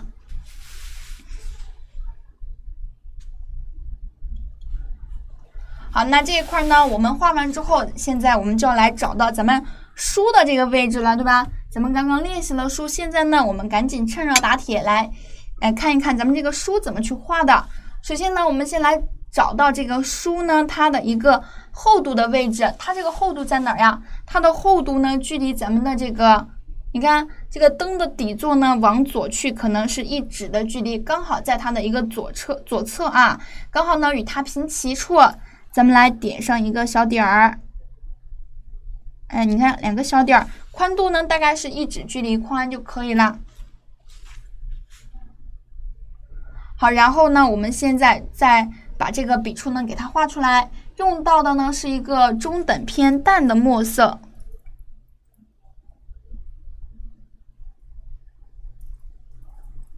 中等偏淡，然后笔肚上的水分一定要少，用到的笔呢也是一支小号的尖毫毛笔，线条比较细。来，从中间这儿，咱们来画出它的第一个厚度啊。从这个地方，从这个地方，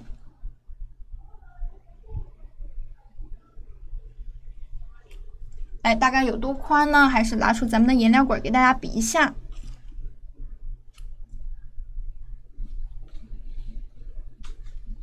然后再把这个翻页的这个厚度呢，给它添加出来。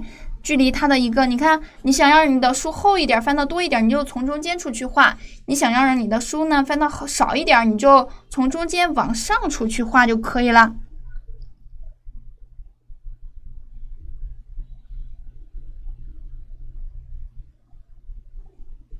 慢慢的，咱们给它带过来。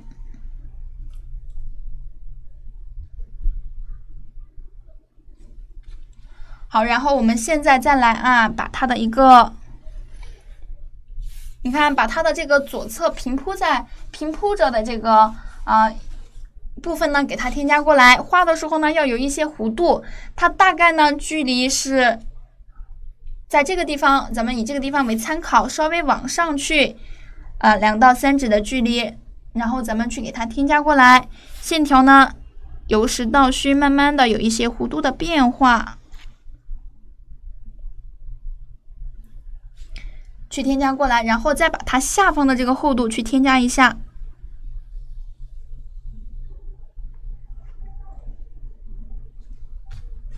好了，然后呢，我们现在就要把后方的这个找到它的一个点，它的这个点呢，大概是距离咱们的一个竖中线，对吧？距离竖中线往左呢是两到三指的距离，大家呢可以在这儿点上一个小点。距离咱们的这个灯芯呢，你往下，你不要参考那么远的，你就参考灯芯，可能是四指的距离，就在这儿。然后咱们给它添加过来，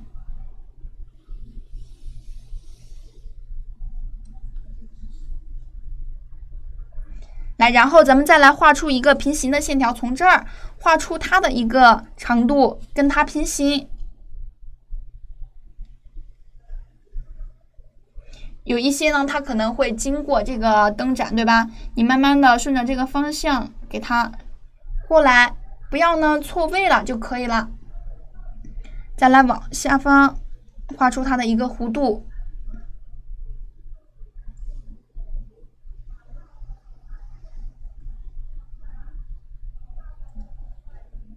再往后方啊，咱们同样的这个比较平行的一个线条。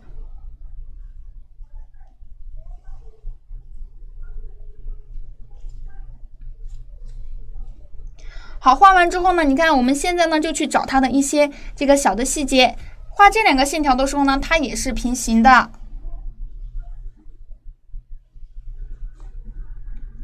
好，然后这儿有一个连着的它的这种中定线的一个宽度呢，咱们也给它画出来。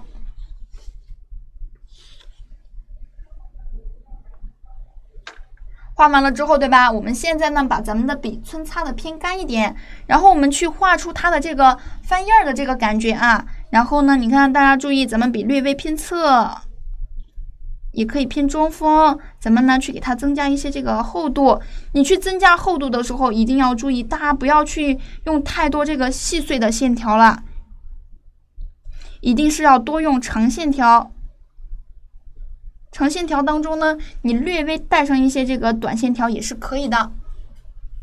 来，下方的这个厚度，咱们也去给它添加上一些啊。长线条，咱们去给它画过来。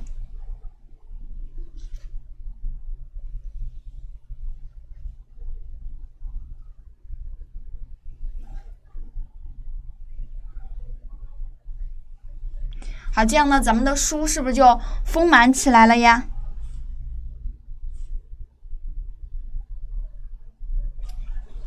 好，然后我们现在不要着急啊，书的上面呢不可能是一张白纸，肯定还是要给它添加一些内容的。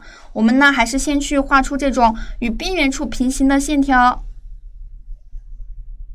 线条呢有一些这种若断若续的感觉。再来去中间画上一些这种小格子，小格子呢我们在画的时候也是同样的线条，也要有一些这个。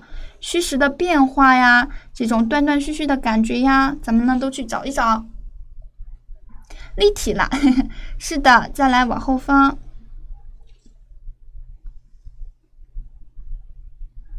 来慢一点点，你看，小心一点，再往后来，继续去添加，也是一些比较平行的这个线条。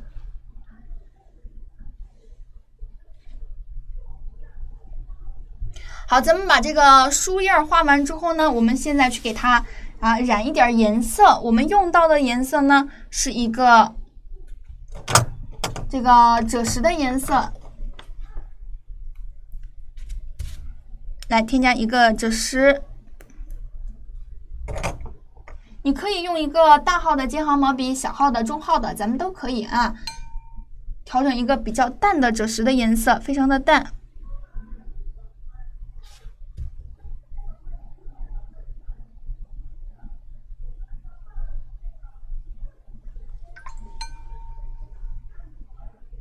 调整好之后呢，我们现在拿这个颜色，我们去给它染上一些它的这个纹路无字。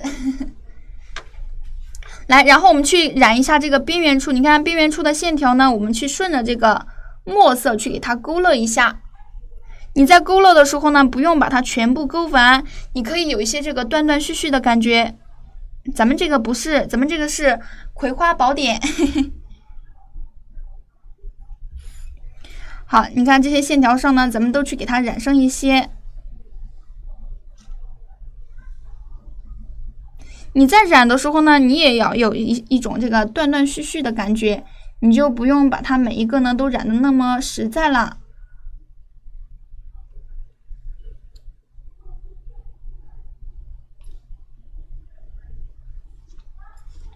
那下方的树叶呢，我们也是可以稍微的给它染上一些。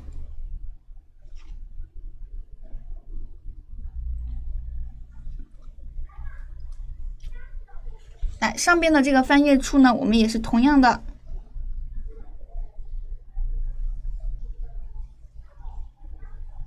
你呢，一定是要染在这个墨线的上方，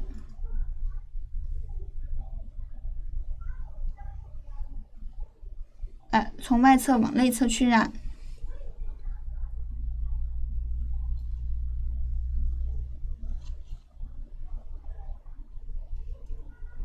内侧呢，也稍微的给它染上一点儿。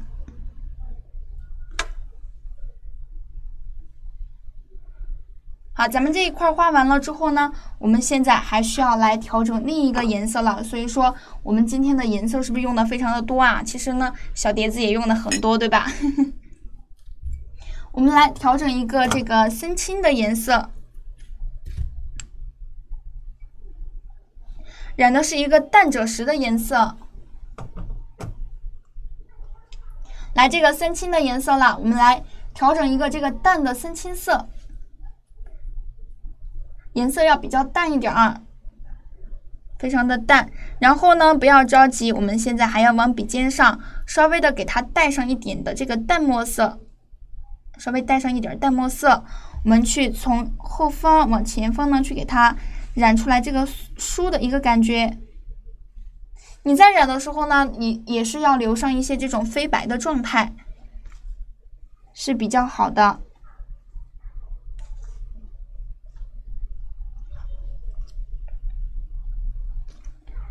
用这个淡墨色呢，我们主要是强去强调一下这个书它阴面的一个感觉。什么笔都可以，你染色什么笔都可以啊。好啦，这一块呢就是咱们这个书的一个画法了。这一块画完之后呢，我们现在下方的一个叶脉也干了，对吧？我们呢就可以用这个重墨色，略微偏重的墨色，咱们把这个叶片去给它染一下，呃，这个勾勒一下叶脉。染书用的什么颜色？你说的是什么部分呀？这个地方用的深青，这个地方用的赭石。来，我们现在要勾勒叶脉了。你去勾勒的时候呢，你看它是一个偏侧面的叶片。所以我们在画的时候呢，它的一个叶脉是这样去生长的，外侧呢也是一样的。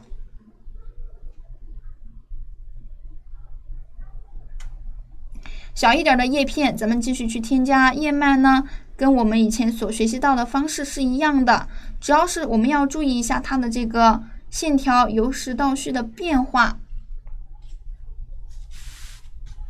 这一块画完之后，我们再去添加一下果柄。果柄处呢，我们主要用到的是一个比较重的墨色。先去添加它下方几个，大概是四到五个这样的小瓣。笔触呢稍微偏侧，来压笔。第一个、第二个，咱们压笔。它的这个笔触呢都是偏圆润的一个感觉。再去添加上它的一个果柄。这里也是一样的，压笔，第一个笔，第二笔。我们在画的时候呢，它可能不一定都是五个瓣儿，对吧？有的时候呢，也会是三个瓣，因为呢，会产生一定的这个遮挡的关系。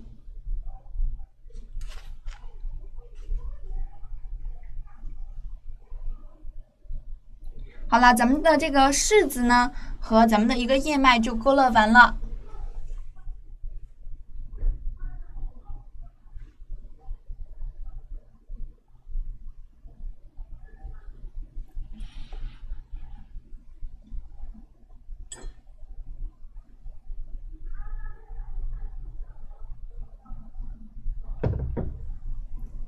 我们现在呢画完之后，右方是不是还有一串葡萄呀？大家这时候呢就可以来复习一下咱们葡萄的一个画法了。葡萄用到的颜色呢，大家是不是还记得呀？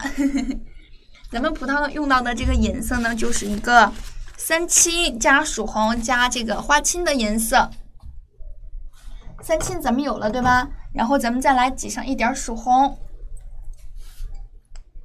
来咱们的曙红，再来加上咱们的花青。咱们今天这个画面当中的颜色也是非常雅致的，对吧？颜色非常的漂亮。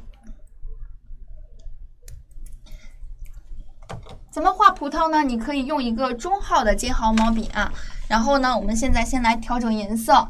我们在画的时候呢，还是先画重一点的这个颜色啊。先来调整一个淡的淡的一个紫色，淡紫色呢，我们可以用一个这个曙红加三青，你给它呢揉在一块儿，这个就是一个淡紫色了。我们揉到笔肚或者是笔根的位置。好，调整好这个颜色之后呢，我们现在第二步，大家啊还记得有印象吗？我们第二步呢，就是要往笔尖上去揉这个曙红加三青的，加这个花青的颜色啊，花青，因为我们现在要调整的是一个偏重一点的紫色。来揉到笔尖呢，要调和的均匀一点儿。好，调整好了之后，我们来找到第一个葡萄的位置，它就在咱们这个书往右方这儿。你看，刚好往右方，跟它呢紧密的挨在一起的。咱们的用笔呢，你可以是一笔往上去推，再从中间这儿给它拧拧动毛笔推过来，这个就是咱们的第一颗葡萄了。你可以用两笔去完成，也可以。葡萄的一个大小，大家还记得吗？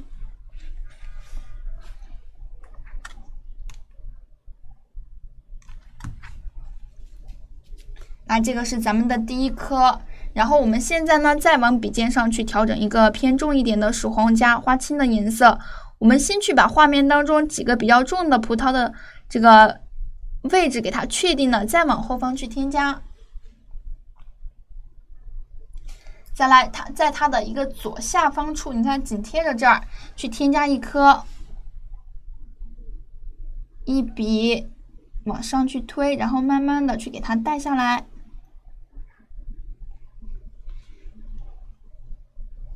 第二颗，然后再往笔尖上去加上这个偏重一点的花青和曙红的颜色。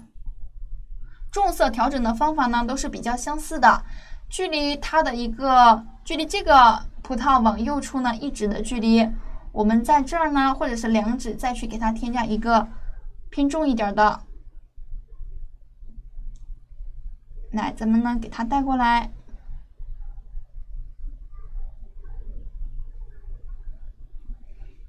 你可以趁势呢，让它更加的饱满一点点。再来，咱们再来继续去添加。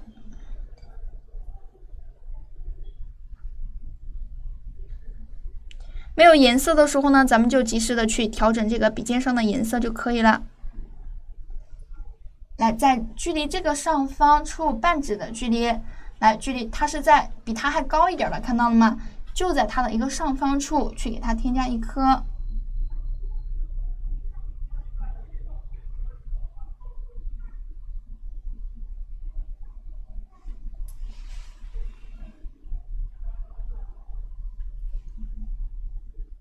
好，这几颗葡萄画完之后呢，我们现在就可以调整一个偏淡一点的颜色了，对吧？笔尖上呢，你也可以适当的稍微的来上一点点的这个。三青的颜色，让它有一些这个偏挂霜的感觉，也可以。笔尖上咱们适当的来上一点曙红，加这个花青，加这个三青啊，三青调整的略微偏重，咱们揉到笔尖处。来，我们现在呢，把这两个葡萄之间，它是一个比较完整一点的葡萄，咱们去给它添加上。两笔，咱们给它带过来。你看这个葡萄呢，它的一个深浅变化还是比较明显的。我们调整画完一个之后，不用再去调整颜色了。我们来再继续拿着这个颜色往它上方再去给它添加一个，它们自然而然呢就会产生一些这个颜色深浅的变化。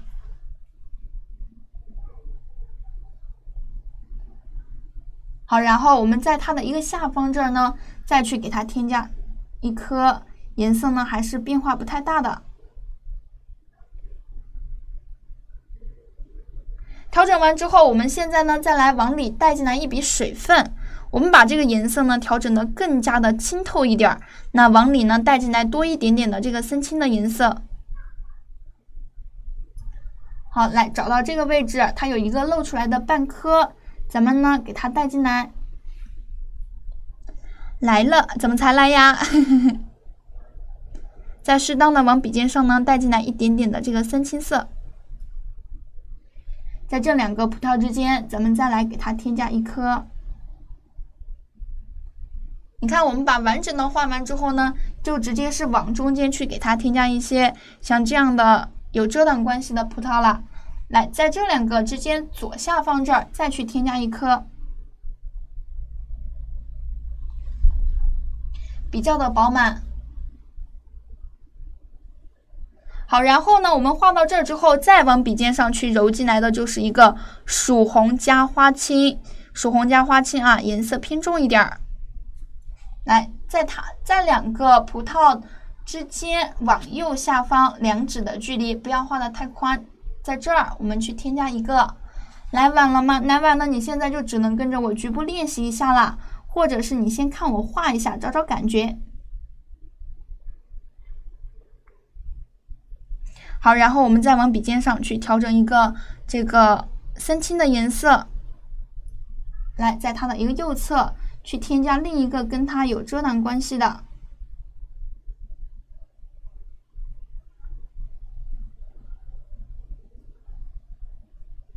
再来笔尖上稍微调整一个曙红加这个淡一点的花青。右侧这儿，右侧这儿还有一个偏小一点的，跟它们呢也是有到一一定的这个遮挡关系的，咱们给它添加过来。然后现在呢，我们不用再继续调整颜色了。在这两个葡萄之间，咱们还有一个偏小一点的有遮挡关系的，咱们给它添加过来。好，咱们这一串葡萄呢就画完了，自己可以根据自己画面的需要进行一些补充、添加或减少都可以。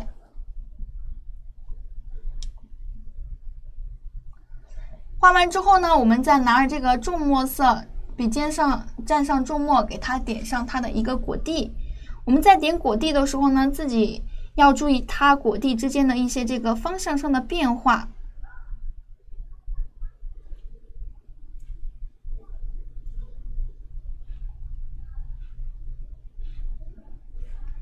去给它添加。待会儿呢，我们还会给它加上一点太白的颜色。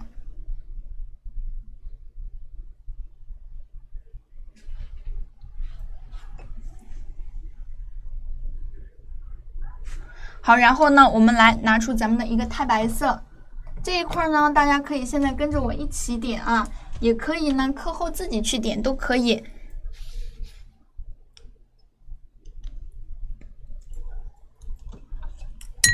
来，咱们拿出一支干净的笔，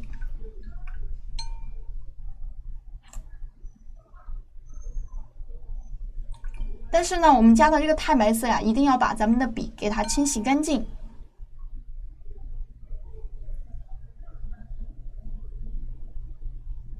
去给它点上一些这个比较亮一点的这个高光，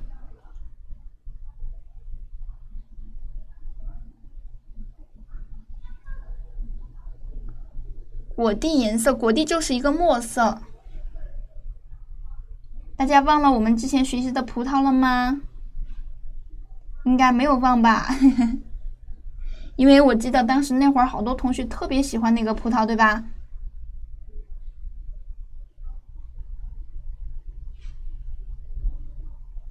好，咱们这个高光的颜色就这个添加完了，对吧？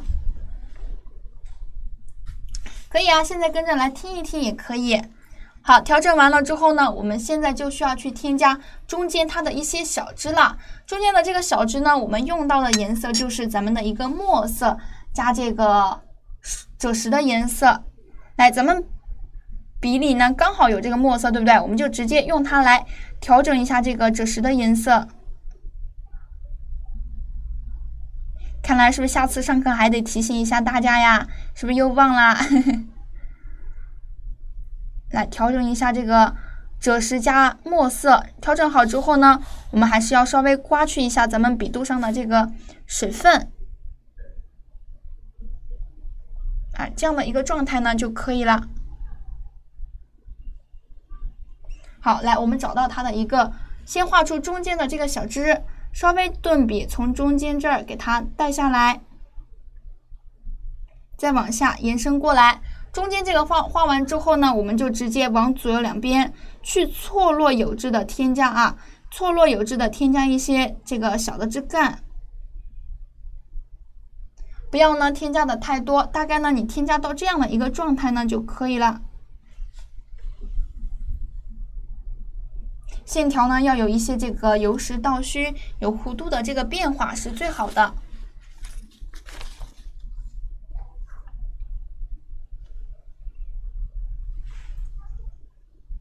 好了，这一块呢我们就画完了，大家画完了吗？这一块如果画完了的同学，给老师回复一个数字六好吗？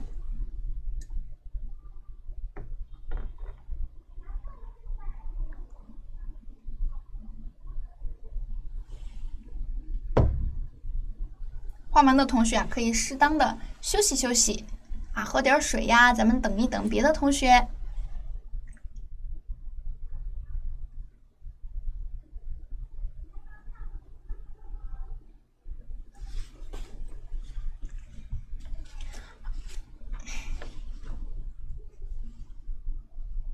好，那我们现在呢要挪动画纸喽。我们现在呢要画的就是这个。上方的这个花瓶啊，我们先把这个花瓶给它画出来，再去画下方的这个呃小桌子。你说它是一个小桌子呢，也可以；你说它是一个这个小凳子呢，其实也可以啊。那首先呢，我们先来看到这个小桌子，哎，这个这个花瓶，老师都把自己给搞糊涂了。首先呢，我们先来找到这个花瓶它的一个瓶口的位置啊。瓶口处呢，它距离咱们的一个中线处是一指的距离，那距离咱们下方的这个横中线往上呢，可能是三到四指的一个距离，所以大概在这儿自己呢给它点上一个小点。右侧呢，它大概在你看它有多宽呀？这个大概是一个颜料管不加盖子的一个长度，所以呢，我们把另一个小点给它点出来，这个就是花瓶瓶口的一个位置了。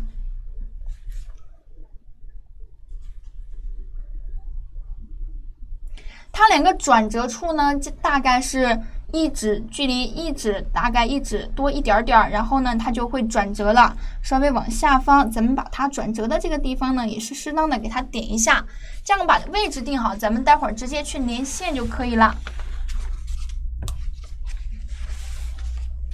好，它的一个宽度呢，慢慢的往左侧，大概在这个地方会略微往下去来一点点啊，在这个地方呢。它会慢慢的往右去转，这两个点呢，第一个点它转折的这个点呢，是距离咱们的一个竖中线三指或者是两指半的一个位置，距离下方的这个横中线呢是一指的位置，来找到这个点，然后呢，你往右去，它是比较，它是一个比较这个对称的嘛，所以往右去呢就是两个颜料管儿，一个颜料管儿。加盖子一个颜料管呢，它不加盖子的这么一个长度啊，或者说是这个花盆的一个宽度就可以了。两边呢还是比较对称的。再往下方，咱们再来往下方啊。我现在呢就是在讲位置，再往下方，再往下方呢，它的两个点，你看它是这样直接对下来的，对下来的这个点呢，它是在。咱们的这个竖中线往左也是两指多的一个距离，这儿啊，大概呢往下距离上方的这个横中线与下方的这个横中线呢，它刚好是处于中间位置的。它的一个宽度呢还是同样的，你呢还是一个颜料管加盖子，另一个颜料管呢咱们不加盖子，它的一个宽度。所以咱们还是在这儿呢，给它点上一个小点儿。你看这样几个位置，咱们是不是都找到了呀？找到了之后呢，我们现在来调整一个中等偏淡一点的墨色，来，大概用到一个中等偏淡一点的墨色，咱们刮去笔肚上多余的这个水分。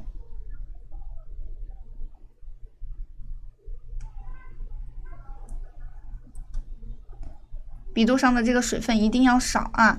这个时候没有跟上的同学，你可以在小稿纸上去练习一下线条。来，我们先把它的一个这个花瓶口的位置下方的这个线条呢，咱们给它画过来，有一个弧度，慢慢的给它带上来。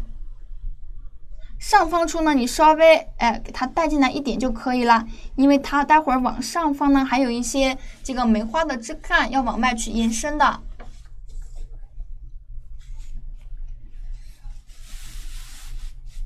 好，稍微给大家缩小一点点。如果我再把位置再给大家说一遍的话，大家这个作品可能就完不成了。所以说啊，这个没有记清楚位置的话呢，咱们同学课后稍微看一下回放好吗？我们在这里呢就不耽误大家的这个时间了。来，然后我们找到这几个点啊，往下去延伸，线条呢还是中锋去行笔的。注意线条转折和它的这个弧度的变化，慢慢的。你看它的这个花瓶呢，也是有一些往外去拱的这个感觉，它不是一个非常直的线条。那你看它的这个线条呢，要有一定的力量感。再往再往右侧，中锋慢慢的到这个点，这这个位置，再来往下中锋弧度的变化。好，再来往左侧带进来，带进来的时候呢，你不要着急，下方这还没有连接过来，对不对？你去衔接的时候呢，衔接的自然一点，往中间有一个弧度，啊，再慢慢的去衔接过来。好，这个位置呢，我们就画好了。这个线条呢是比较长的，所以大家在画的时候呢，就不要跟我一样了，边讲话边去画了，一定要注意力集中着，咱们去把这个长线条画出来。画的时候呢，长线条不要直直的过来了，注意转折和弧度的变化，严重变形。没关系，没关系。其实呢，啊，不知道同学们有没有见过，有的画家呢，他在去画这些花瓶呀，还有这些器皿的时候，他不喜欢把这个物体画的非常的对称，他不喜欢把这些物体呢画的非常的严谨，反而是有一些这个变形呢，会体现出他所要表达的一种精神状态。其实呢，这样也是可以的。错了一个格，你错到哪个格了呀？大家呢一定要。这个跟咱们左侧的一个案例图去对照一下啊。好，画完之后，我们现在把它上方的一个裂纹去给它画出来。今天有同学问我，这个裂纹有没有什么章法呀？其实裂纹呢没有什么章法，它的这个裂纹本来就是不规则的一个状态，主要是我们在去分割的时候呢，注意它的一些这个大小不同的一个变化呢就可以了。自己在画这些裂纹的时候呢，也不用跟我一模一样，自己呢可以有一些这个不同的变化。线条呢不要产生那种非常平行的一个状态，错了一个格，错了一个格也没有关系。首先我们先把画面画完整，待会儿呢你再去画下方的这个小。小板凳的时候，对吧？你就稍微呢跟下方的一些物体去产生一一些这个遮挡的关系就可以了。来画出这个裂纹，你看就像是去再去分割、去交错。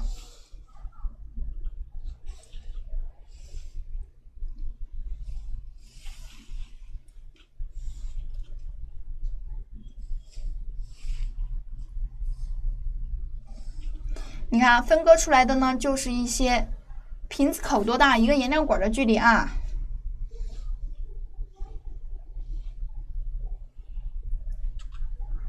好，这样呢，去给它分割一下就可以了。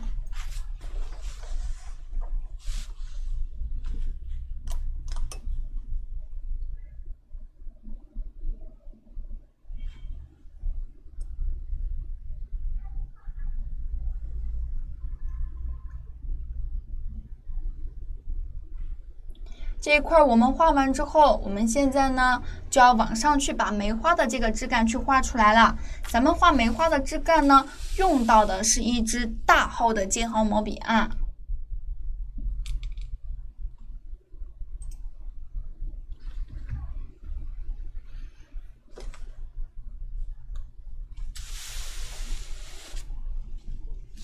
来，首先我们要画的第一个枝干呢，它是比较粗壮的。我们调整颜色的方法呢，还是先来调整一下这个淡墨色，然后再去调整这个重墨色啊。调整到淡墨色，调整到笔肚；重墨色呢，咱们调整到笔尖三分之一或者是二分之一处。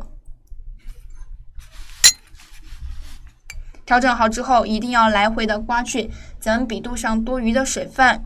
笔尖上呢，咱们再来揉进来一个二分之一的重墨色，你去揉到这个大概笔肚的位置就可以了。画完了，好嘞，那咱们呢，注意它从瓶口左方处一点点来去给它延伸，稍微压笔往上去推，线条呢。转折和起伏的变化非常的大啊，慢慢的去行笔的速度呢，你可以略微的偏慢一点儿，越往上，咱们的笔尖呢，逐渐逐渐的聚拢在一起。再来，慢慢的去拧动咱们的笔杆，让它聚丰。你也可以稍微的把你的笔呢立起来一下，然后再从这个地方去延伸。你看，这个是它的一个小枝。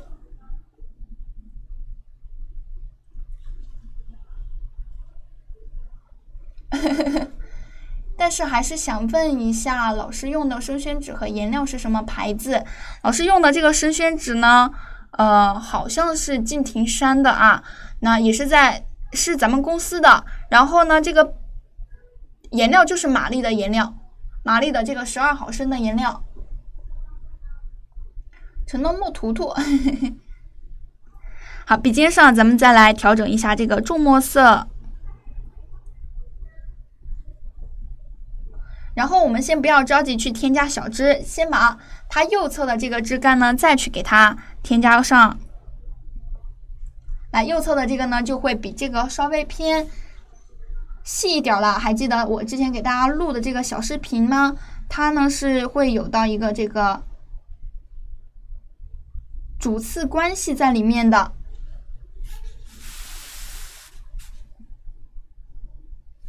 来，往左下方去延伸。稍微顿笔，注意它们之间去衔接的一个状态。画过来，注意枝干之间它的一个这个由粗到细的变化。越小的枝呢，越要画出它的一个非常有柔韧性的力量感在里面。再来，在这个地方呢，我们就去可以把它的一个小枝给它添加过来了。从这里出笔，慢慢的。中锋给它带过来，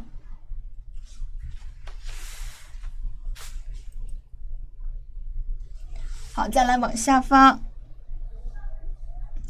你看中锋行笔非常的有力量感，一定不要用侧锋了。你侧锋的话，肯定是画不出来它的这个力量感的。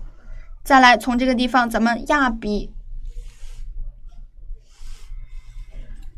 好，咱们的这个小枝呢，上方的这个小枝就画好了，对吧？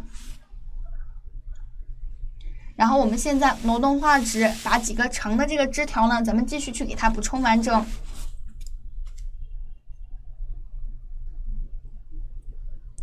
笔尖上继续调整一下颜色。来，在这个枝干上呢，它还有一个是从它的上方去出枝的，往左上方去延伸，稍微顿笔，慢慢的给它由粗到细的带上来。再来往左上方去倾斜，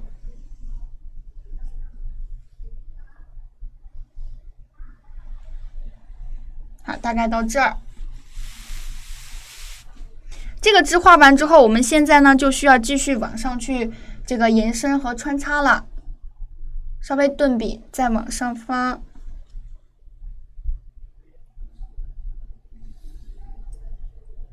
一些这个小枝呢，它也是比较有力量感的，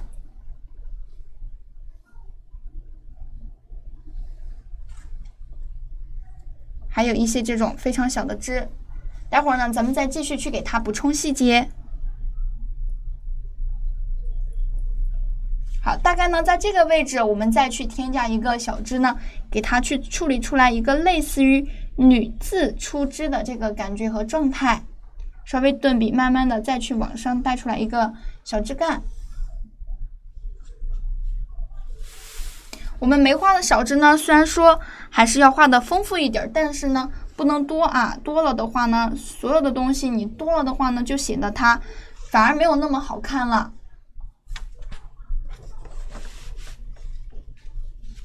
来，咱们再往右侧还有一个比较长的这个枝干呢，咱们继续去给它添加上，还是从瓶口的位置去出笔的，咱们稍微顿笔，线条转折，再往上慢慢的去延伸，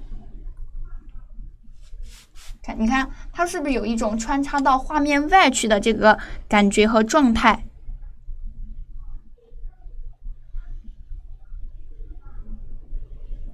继续去添加，该转折的咱们转折，该顿笔的咱们去顿笔。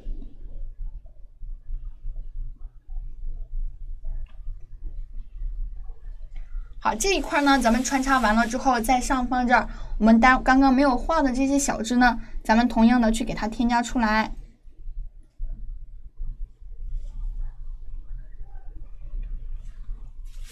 好，那我们现在呢，所有的一个小枝干就画完了。枝干画不出力量感，如果画不出力量感的话呢，课后可以多练习一下。大家真的是可以考虑去练习一下这个篆书。我们一开始在学画画的时候呢，啊，以前那个老师那个老师呢就会说，大家一定要练习一些篆书。篆书它所写出来的这个字呢是非常有力量感的啊啊，你多练练呢会更有。这个对咱们的笔呀、用线呀就会更加的有感觉。好，那我们现在呢，再来调整一个重一点的墨色，去给它点上一些抬点。在点的时候呢，我们还是要注意抬点的一个大小结合的这种关系，以及以及它的这种错落有致的感觉。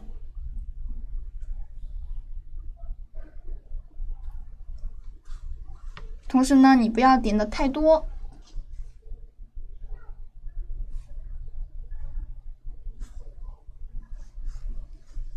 再来左方这儿呢，你越往下枝干可能越来越大了，你的抬点呢可以适当的偏多一点。右侧这儿，咱们点上一些这个抬点。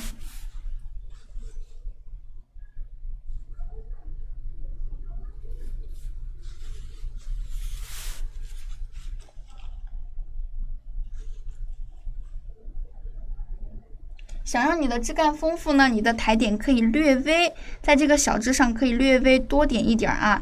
其实呢，咱们梅花上的一个小枝的抬点呢，还是稍微偏多一点的。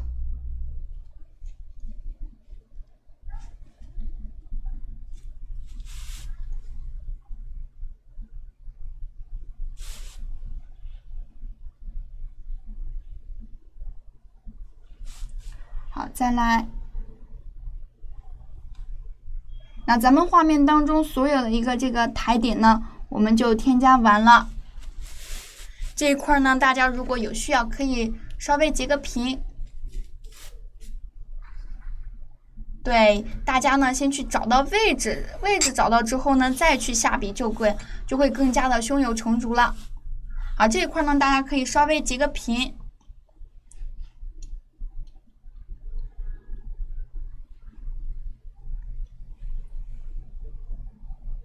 买谁的字体啊？呃，如果是篆书的话，肯定是买吴昌硕的那个，呃，石鼓文。好，那我们现在呢，要往上去添加梅花了。梅花呢，大家也是学过的内容了，对不对？相当于呢，哎，又复习一下咱们入门课程当中学习到的这个内容。我们现在呢，先来调整一下这个中号的尖毫毛笔。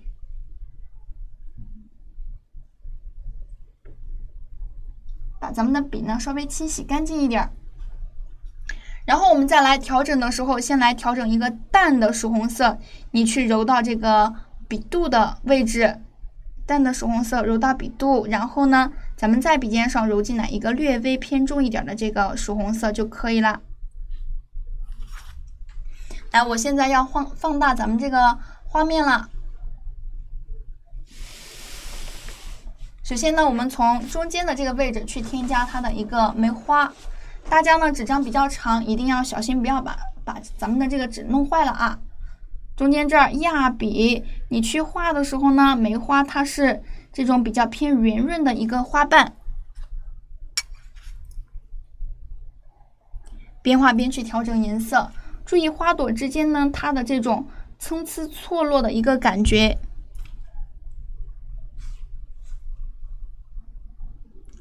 再来往下方继续去添加。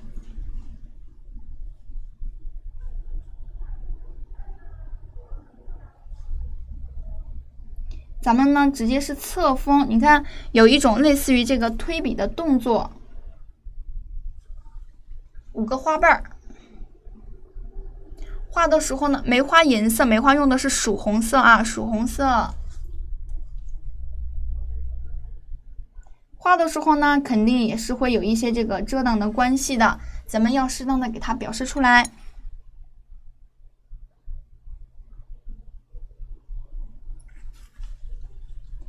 画的时候呢，它也会有一些这样的小花苞，咱们肯定呢也还是要给它添加出来的。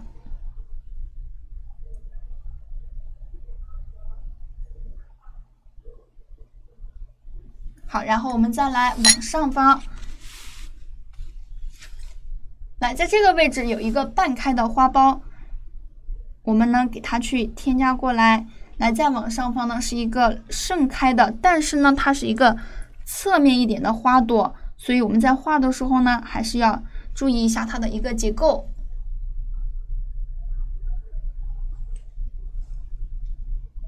有一个小花苞落过来了，再往上，好，在这儿，在两个枝干之间呢，咱们同样的继续去添加花瓣呢，也是要稍微偏圆润一点的。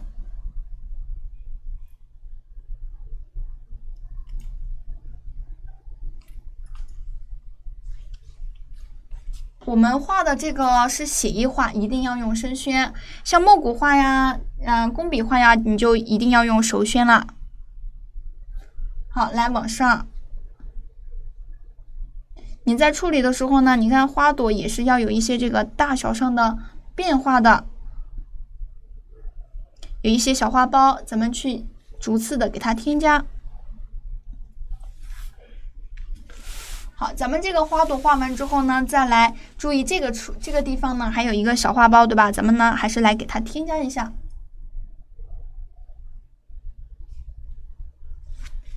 再来往右侧，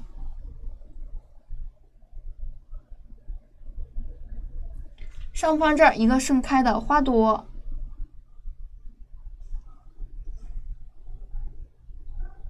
左侧一个小花苞，咱们给它添加过来。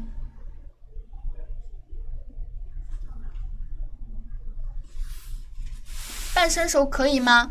呃，大家如果现在半生熟很多，你可以用，但是往后呢，你就一定要买生宣了，尽量就不要再用半生熟了。好，我们现在呢，再来往下方了。来，下方的这个小枝呢，咱们现在继续去添加上啊，这个小枝上的一些梅花，同样的还是先去添加盛开的花朵。来，在这个枝头上就有一个盛开的。后方这儿呢，还是一个半盛开的一个状态，一些小花苞，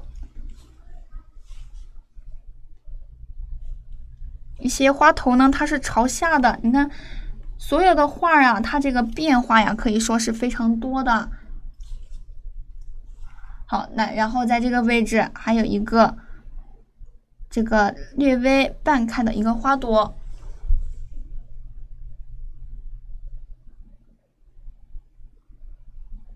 再来往下，老师的纸感觉很厚，其实呢，这个纸它也不是很厚啊。大家在买的时候呢，你可以考虑中等的这种厚度，一般来说呢就比较好了。其实太厚呢，它也不太好。谢谢咱们红柳同学。好啦，那我们现在呢，再要往上挪动，在这两个枝干之间，我们再来去添加一个盛开的花朵。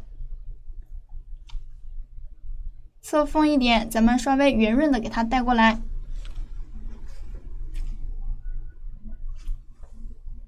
好啦，然后呢，再来往右侧，右侧的这个枝干上呢，就是一些啊小的花苞，主要是以花苞为主啊。花苞呢，你在处理的时候，它也是会有一些大小之分的，大家呢也可以做一个适当的调整。有的小花苞呀，它也不一定非要是长在这个枝干上的，有的呢，它也是会跟枝干有一些这个隔的比较开的这种感觉的。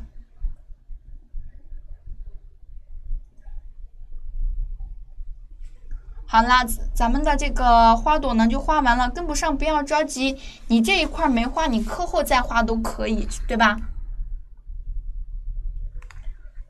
好，然后我们现在呢就需要去调整一个曙红加墨色啦。曙红加墨色，咱们呢去把它下方的这些萼片，对吧？萼片呀，这个还有它的一个花蕊呢，咱们用这个曙红加墨的颜色去给它添加上。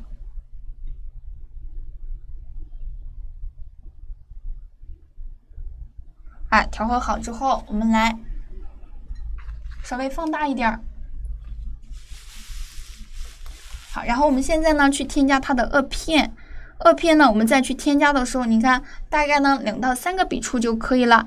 一些花蕊呢线条一定要细，然后点上一些这个参差错落的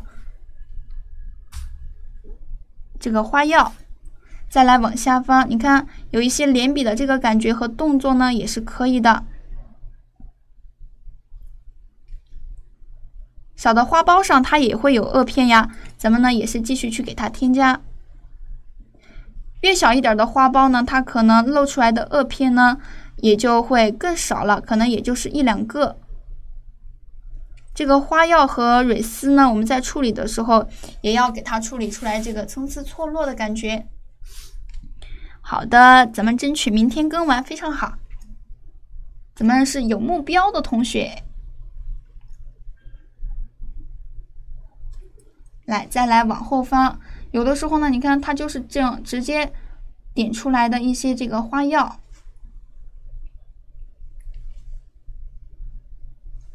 有一些连笔的这个感觉啊。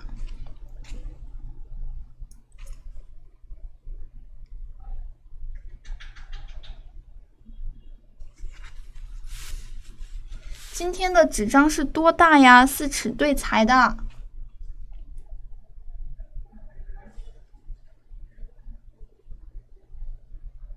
一些小花药，咱们给它点上。再来继续往后方啊，这一块呢，我稍微画的快一点，要不然待会儿又耽误了大家这个休息的时间了。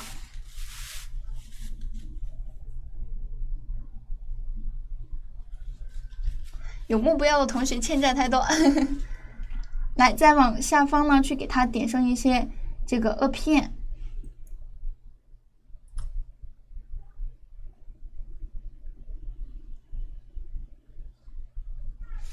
好，然后我们现在呢，再来往下方啦。不是咱们每一个盛开的花朵都要去添加花蕊的，你要根据它角度的不同去添加这个花蕊。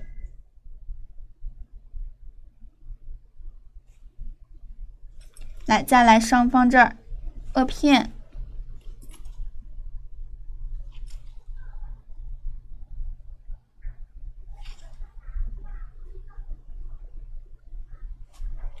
好，再来往下方去添加这个萼片，稍微的给它有一些连笔的感觉。花花苞呢，咱们就可以给它一笔，给它带过来就可以了。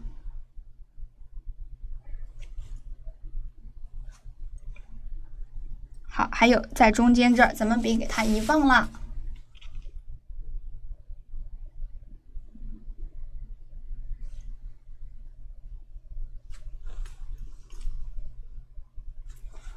那咱们画面当中呢，所有的一个梅花和花苞，咱们就画完了。萼片呢是一个曙红加墨色啊，曙红加墨色，没那么大的纸，那咱们就同学适当的去缩小。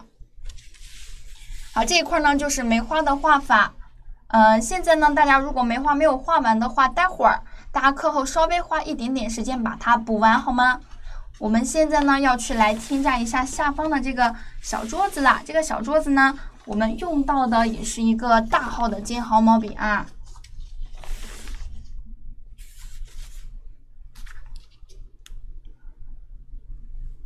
来，首先我们先来拿出咱们的一个碟子大号的尖毫毛笔，先来调整淡墨色，来调整一个淡墨色。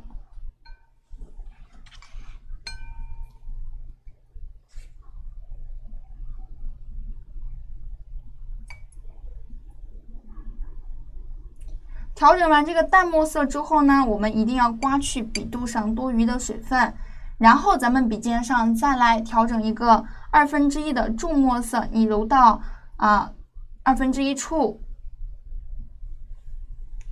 这个时候画这个小桌子的时候呢，大家可以尝试着站起来去画这个线条啊，因为我在课后画这个的时候呢，都是站起来画的，觉得呢这样去画更有力量感。首先呢，我们找到这两个桌子的一个位置。距离咱们的这个底部大概呢是三指的距离，咱们在这儿点上一个小点，右侧呢也是同样三指的距离。哎，在这儿是不是发现它还有一个厚度没有加呀？咱们呢就可以用一个小号的尖毫毛笔蘸上一点淡墨，把这个厚度我们去给它添加上，稍微往下来一点儿，大概呢就这么宽的一个小小的厚度，咱们平行着给它画过来。就可以了。好，我们现在呢，把它的这个桌面，它是一个类似于竹编的这样的一个小桌子啊。我们在画的时候呢，笔一定要稍微偏厚重一点，压笔慢慢的给它中锋转笔呢带过来，来稍微往上提一下，你看稍微往上提，然后再来调整颜色。侧锋一点压笔，压笔往右侧，往右侧去推，然后咱们再来慢慢提笔，再来调整一下咱们的这个笔锋。你可以从外侧往内侧，你看，从外往中间去转笔，给它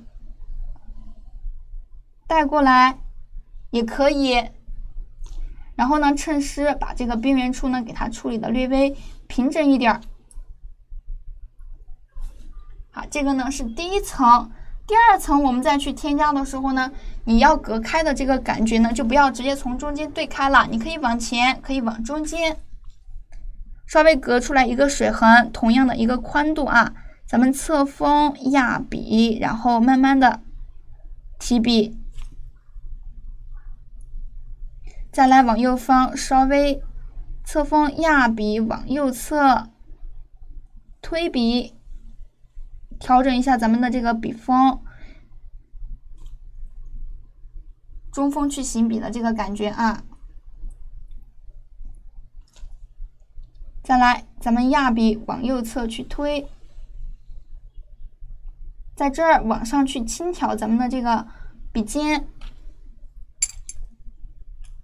一定要把它画的比较的厚重，不要画的太单薄了。好，画完之后呢，我们现在把它的几个几个桌腿儿，咱们给它画出来。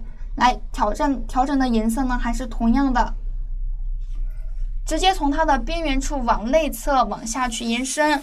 下方呢，它的一个长度大概是咱们的这个灯往下这儿大概是三指的距离。所以呢，我们注意它的一个顺着往下来的方向，大概在这儿，我们给它点上一个小点。画的时候呢，我们还是会稍微有一些停顿的这个感觉。侧锋，咱们压笔，稍微调笔，然后再往再来稍微偏侧，再压笔，稍微往上去调笔。桌腿，桌腿，同学，咱们是桌腿啊，不是猪腿。这大晚上的，咱们怎么能说这么具有诱惑力的食物呢？再来侧锋，稍微偏侧压下来，来到这儿轻挑，就出来了，对吧？然后咱们再来把右侧的这个桌腿给它画出来啊。调整一下墨色，下方呢，它也是到了，大概呢是在这个，你看葡萄上方这儿，稍微的咱们顿笔，材质竹子。侧锋来稍微压笔，中锋行笔，慢慢的压笔往上去轻挑。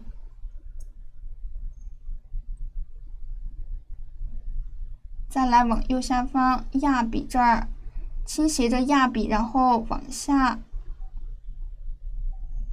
再来，咱们轻挑啊！你看，我们就是要画出它的这种类似于竹子的竹子的竹子的一个感觉。桌腿中锋行笔吗？是的，咱们桌腿呢一定要中锋行笔。你呢，把你的笔稍微往下去压一点，它就能画的比较粗了。来，侧锋转中锋，慢慢的压笔，然后咱们提笔啊，主要呢是中锋去行笔的。好，画完之后，咱们再来调整一下颜色，找到它的一个另一个前面的桌腿儿，它的这个桌腿呢是在，不是在正中间，是稍微往右靠，距离这个腿呢稍微四指的距离，大概在这儿。这一个腿呢，它会稍微的更往下来一点了啊，稍微低一点，大概就在这个纸张边缘处，咱们去给它添加。来，侧锋转中锋，咱们压笔，再来继续去添加。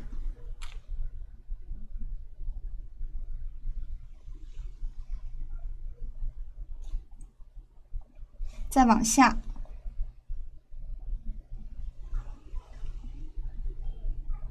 好压笔往上去轻挑一下就可以了。好，前面的这个部分呢，我们画完之后，再来我们去添加它的一些这个小的细节啊。小的细节呢，就是在这儿，它是不是还有一圈这个，也是它的一个小的结构呢？我们也是同样的一个弧度，跟上面的线条呢是比较平行的。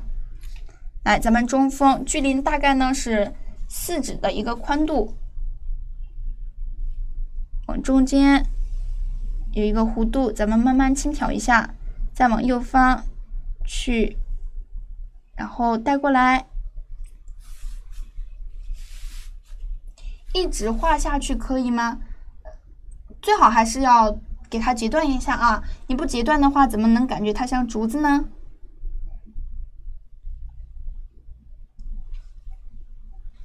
好，画完之后，我们现在呢就需要把它的一些这个像竹节边的这个纹路呢，我们去给它画一下。像其实呢也跟上方的这个裂纹比较相似啊，没有太多的一个呃规律，主要是呢你画出它的这这种结构就可以了。还是要中锋去行笔。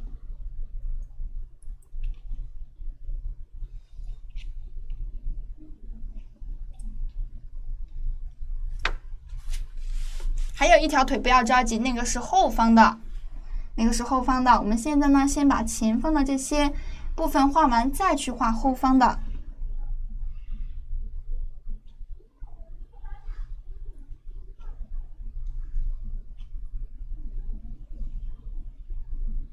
好，你看这些竹节的纹路，腿大概有多宽？你的中锋大号尖号毛笔能压到多宽呀？其实呢，它大概就是一个。你看颜料管盖子下方的这个宽度啊，颜料管盖子下方的宽度。再来，下方还有一圈，对不对？我们呢去把它添加上，还是跟上方平行，大概呢在这个位置，距离往下处呢是一个颜料管的一个宽度，再去添加。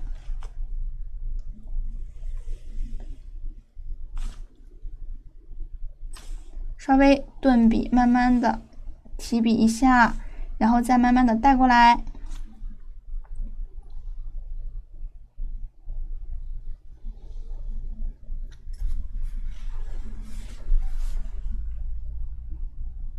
墨色上要有前后层次区别，是吧？我们现在画的是前方，墨色当然要重一点了啊。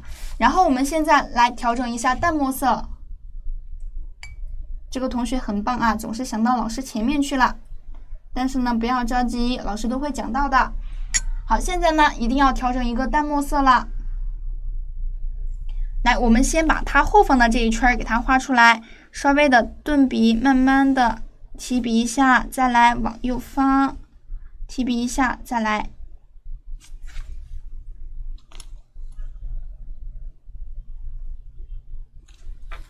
好，这个部分呢，咱们就你看画完了，对吧？墨色上呢，它也有了一个前后的层次关系。然后我们现在呢，这个先不要着急添加它的一个纹路，我们待会儿呢还要把它的一个后方的这个腿给它画出来。来找到这个位置啊，距离呢是在距离这个腿大概呢是一个颜料管儿不加盖子或者是一个四指的距离，在这儿我们呢去给它点上一个小点。来，直接往下方带过来啊！中锋压笔给它呢带过来，提笔，再来往下方提笔，再来往下。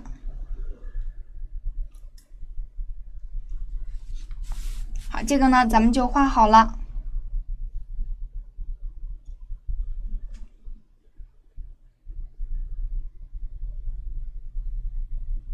画完之后呢，我们现在呢就来再来调整一下这个淡墨色了啊。我们在调整好之后，把它下方的这个纹路呢，你看也不能说是它的纹路吧，是它的这个小的框架结构，我们去给它添加一下。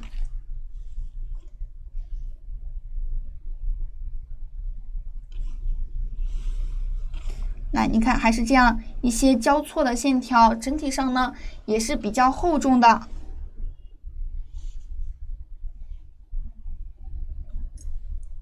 好，下方这儿我们就画完了，再来往上方，往上方呢还是淡墨色，我们先把它的那一圈内侧的那一圈画出来，稍微压笔慢一点，带过来，再来往后方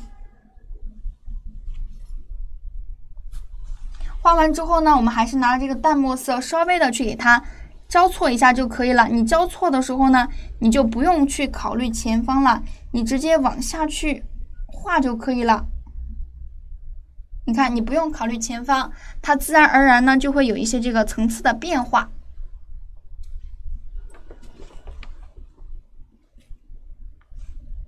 好，这个部分呢我们就画完了。待会儿呢给大家去截个图。画完之后呢，我们现在再来调整一个淡墨色。你看桌面它是不是非常的空呀？那我们呢拿这个淡墨色啊，去给它皴擦一下这个桌面。来，还是侧锋一点，咱们去横线去给它皴擦。注意它与是这个花盆相接的位置，给它皴擦过来，非常淡的墨色。稍微有一点阴的话，赶紧拿着咱们的这个湿笔纸去稀释一下。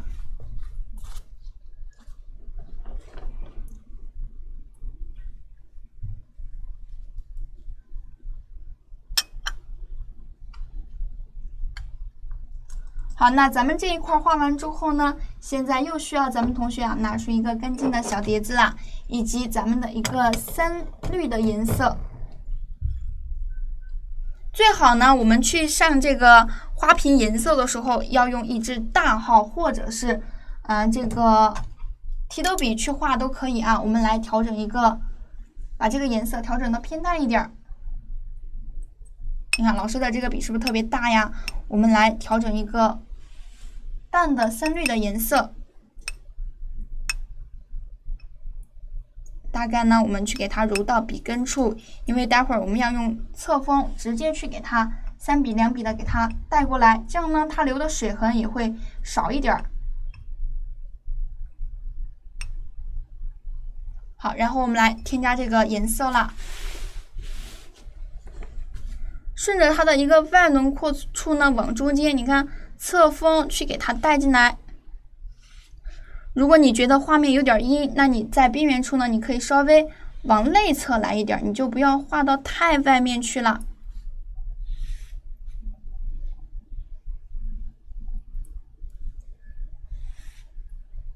从外侧往内侧去添加。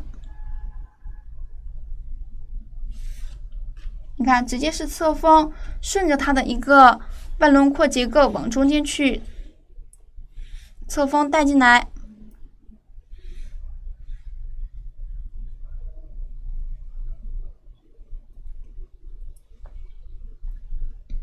好啦，那咱们这个画面当中所有的一个物体呢，就画完了。首先呢，我们还是先来给大家缩小着来看一看啊，因为大的提斗笔，是的，我用的是一个大号的提斗笔，直接大面积的去给它染色的。大家呢，我也建议大家用这样的方式啊，这样你就会画的更快，同时呢，它颜色也会更加的均匀。看着就甜，肯定是超市里面最为畅销的那个水果了，对吧？给大家侧着去看一下咱们今天的整个画面。来啊，这个是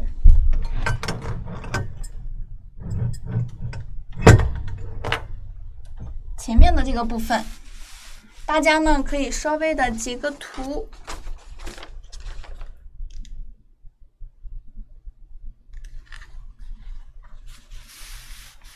来，这个是前面的这个部分啊，然后呢，我现在会拖动着咱们的这个画纸，因为它太大了。好，来，往下去给大家拖动着看一看。好，你看，再来往下方，这个就是下面的这个部分了。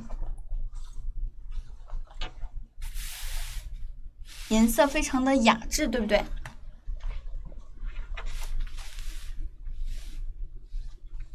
再看一下，好，再看一下，再看一下啊！从下往上去看，来往中间。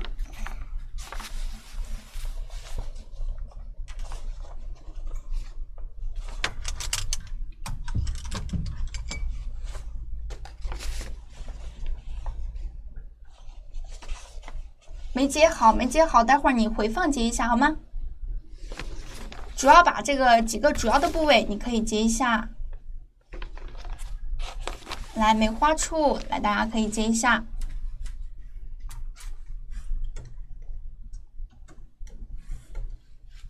这是两幅画的内容，这是一幅画的内容呀。太长了，是一个四尺对裁的纸张啊。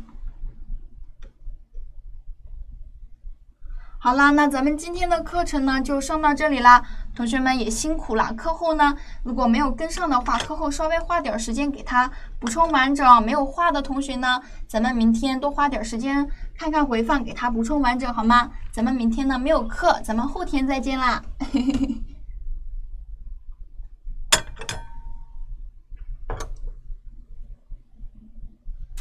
好，同学们再见。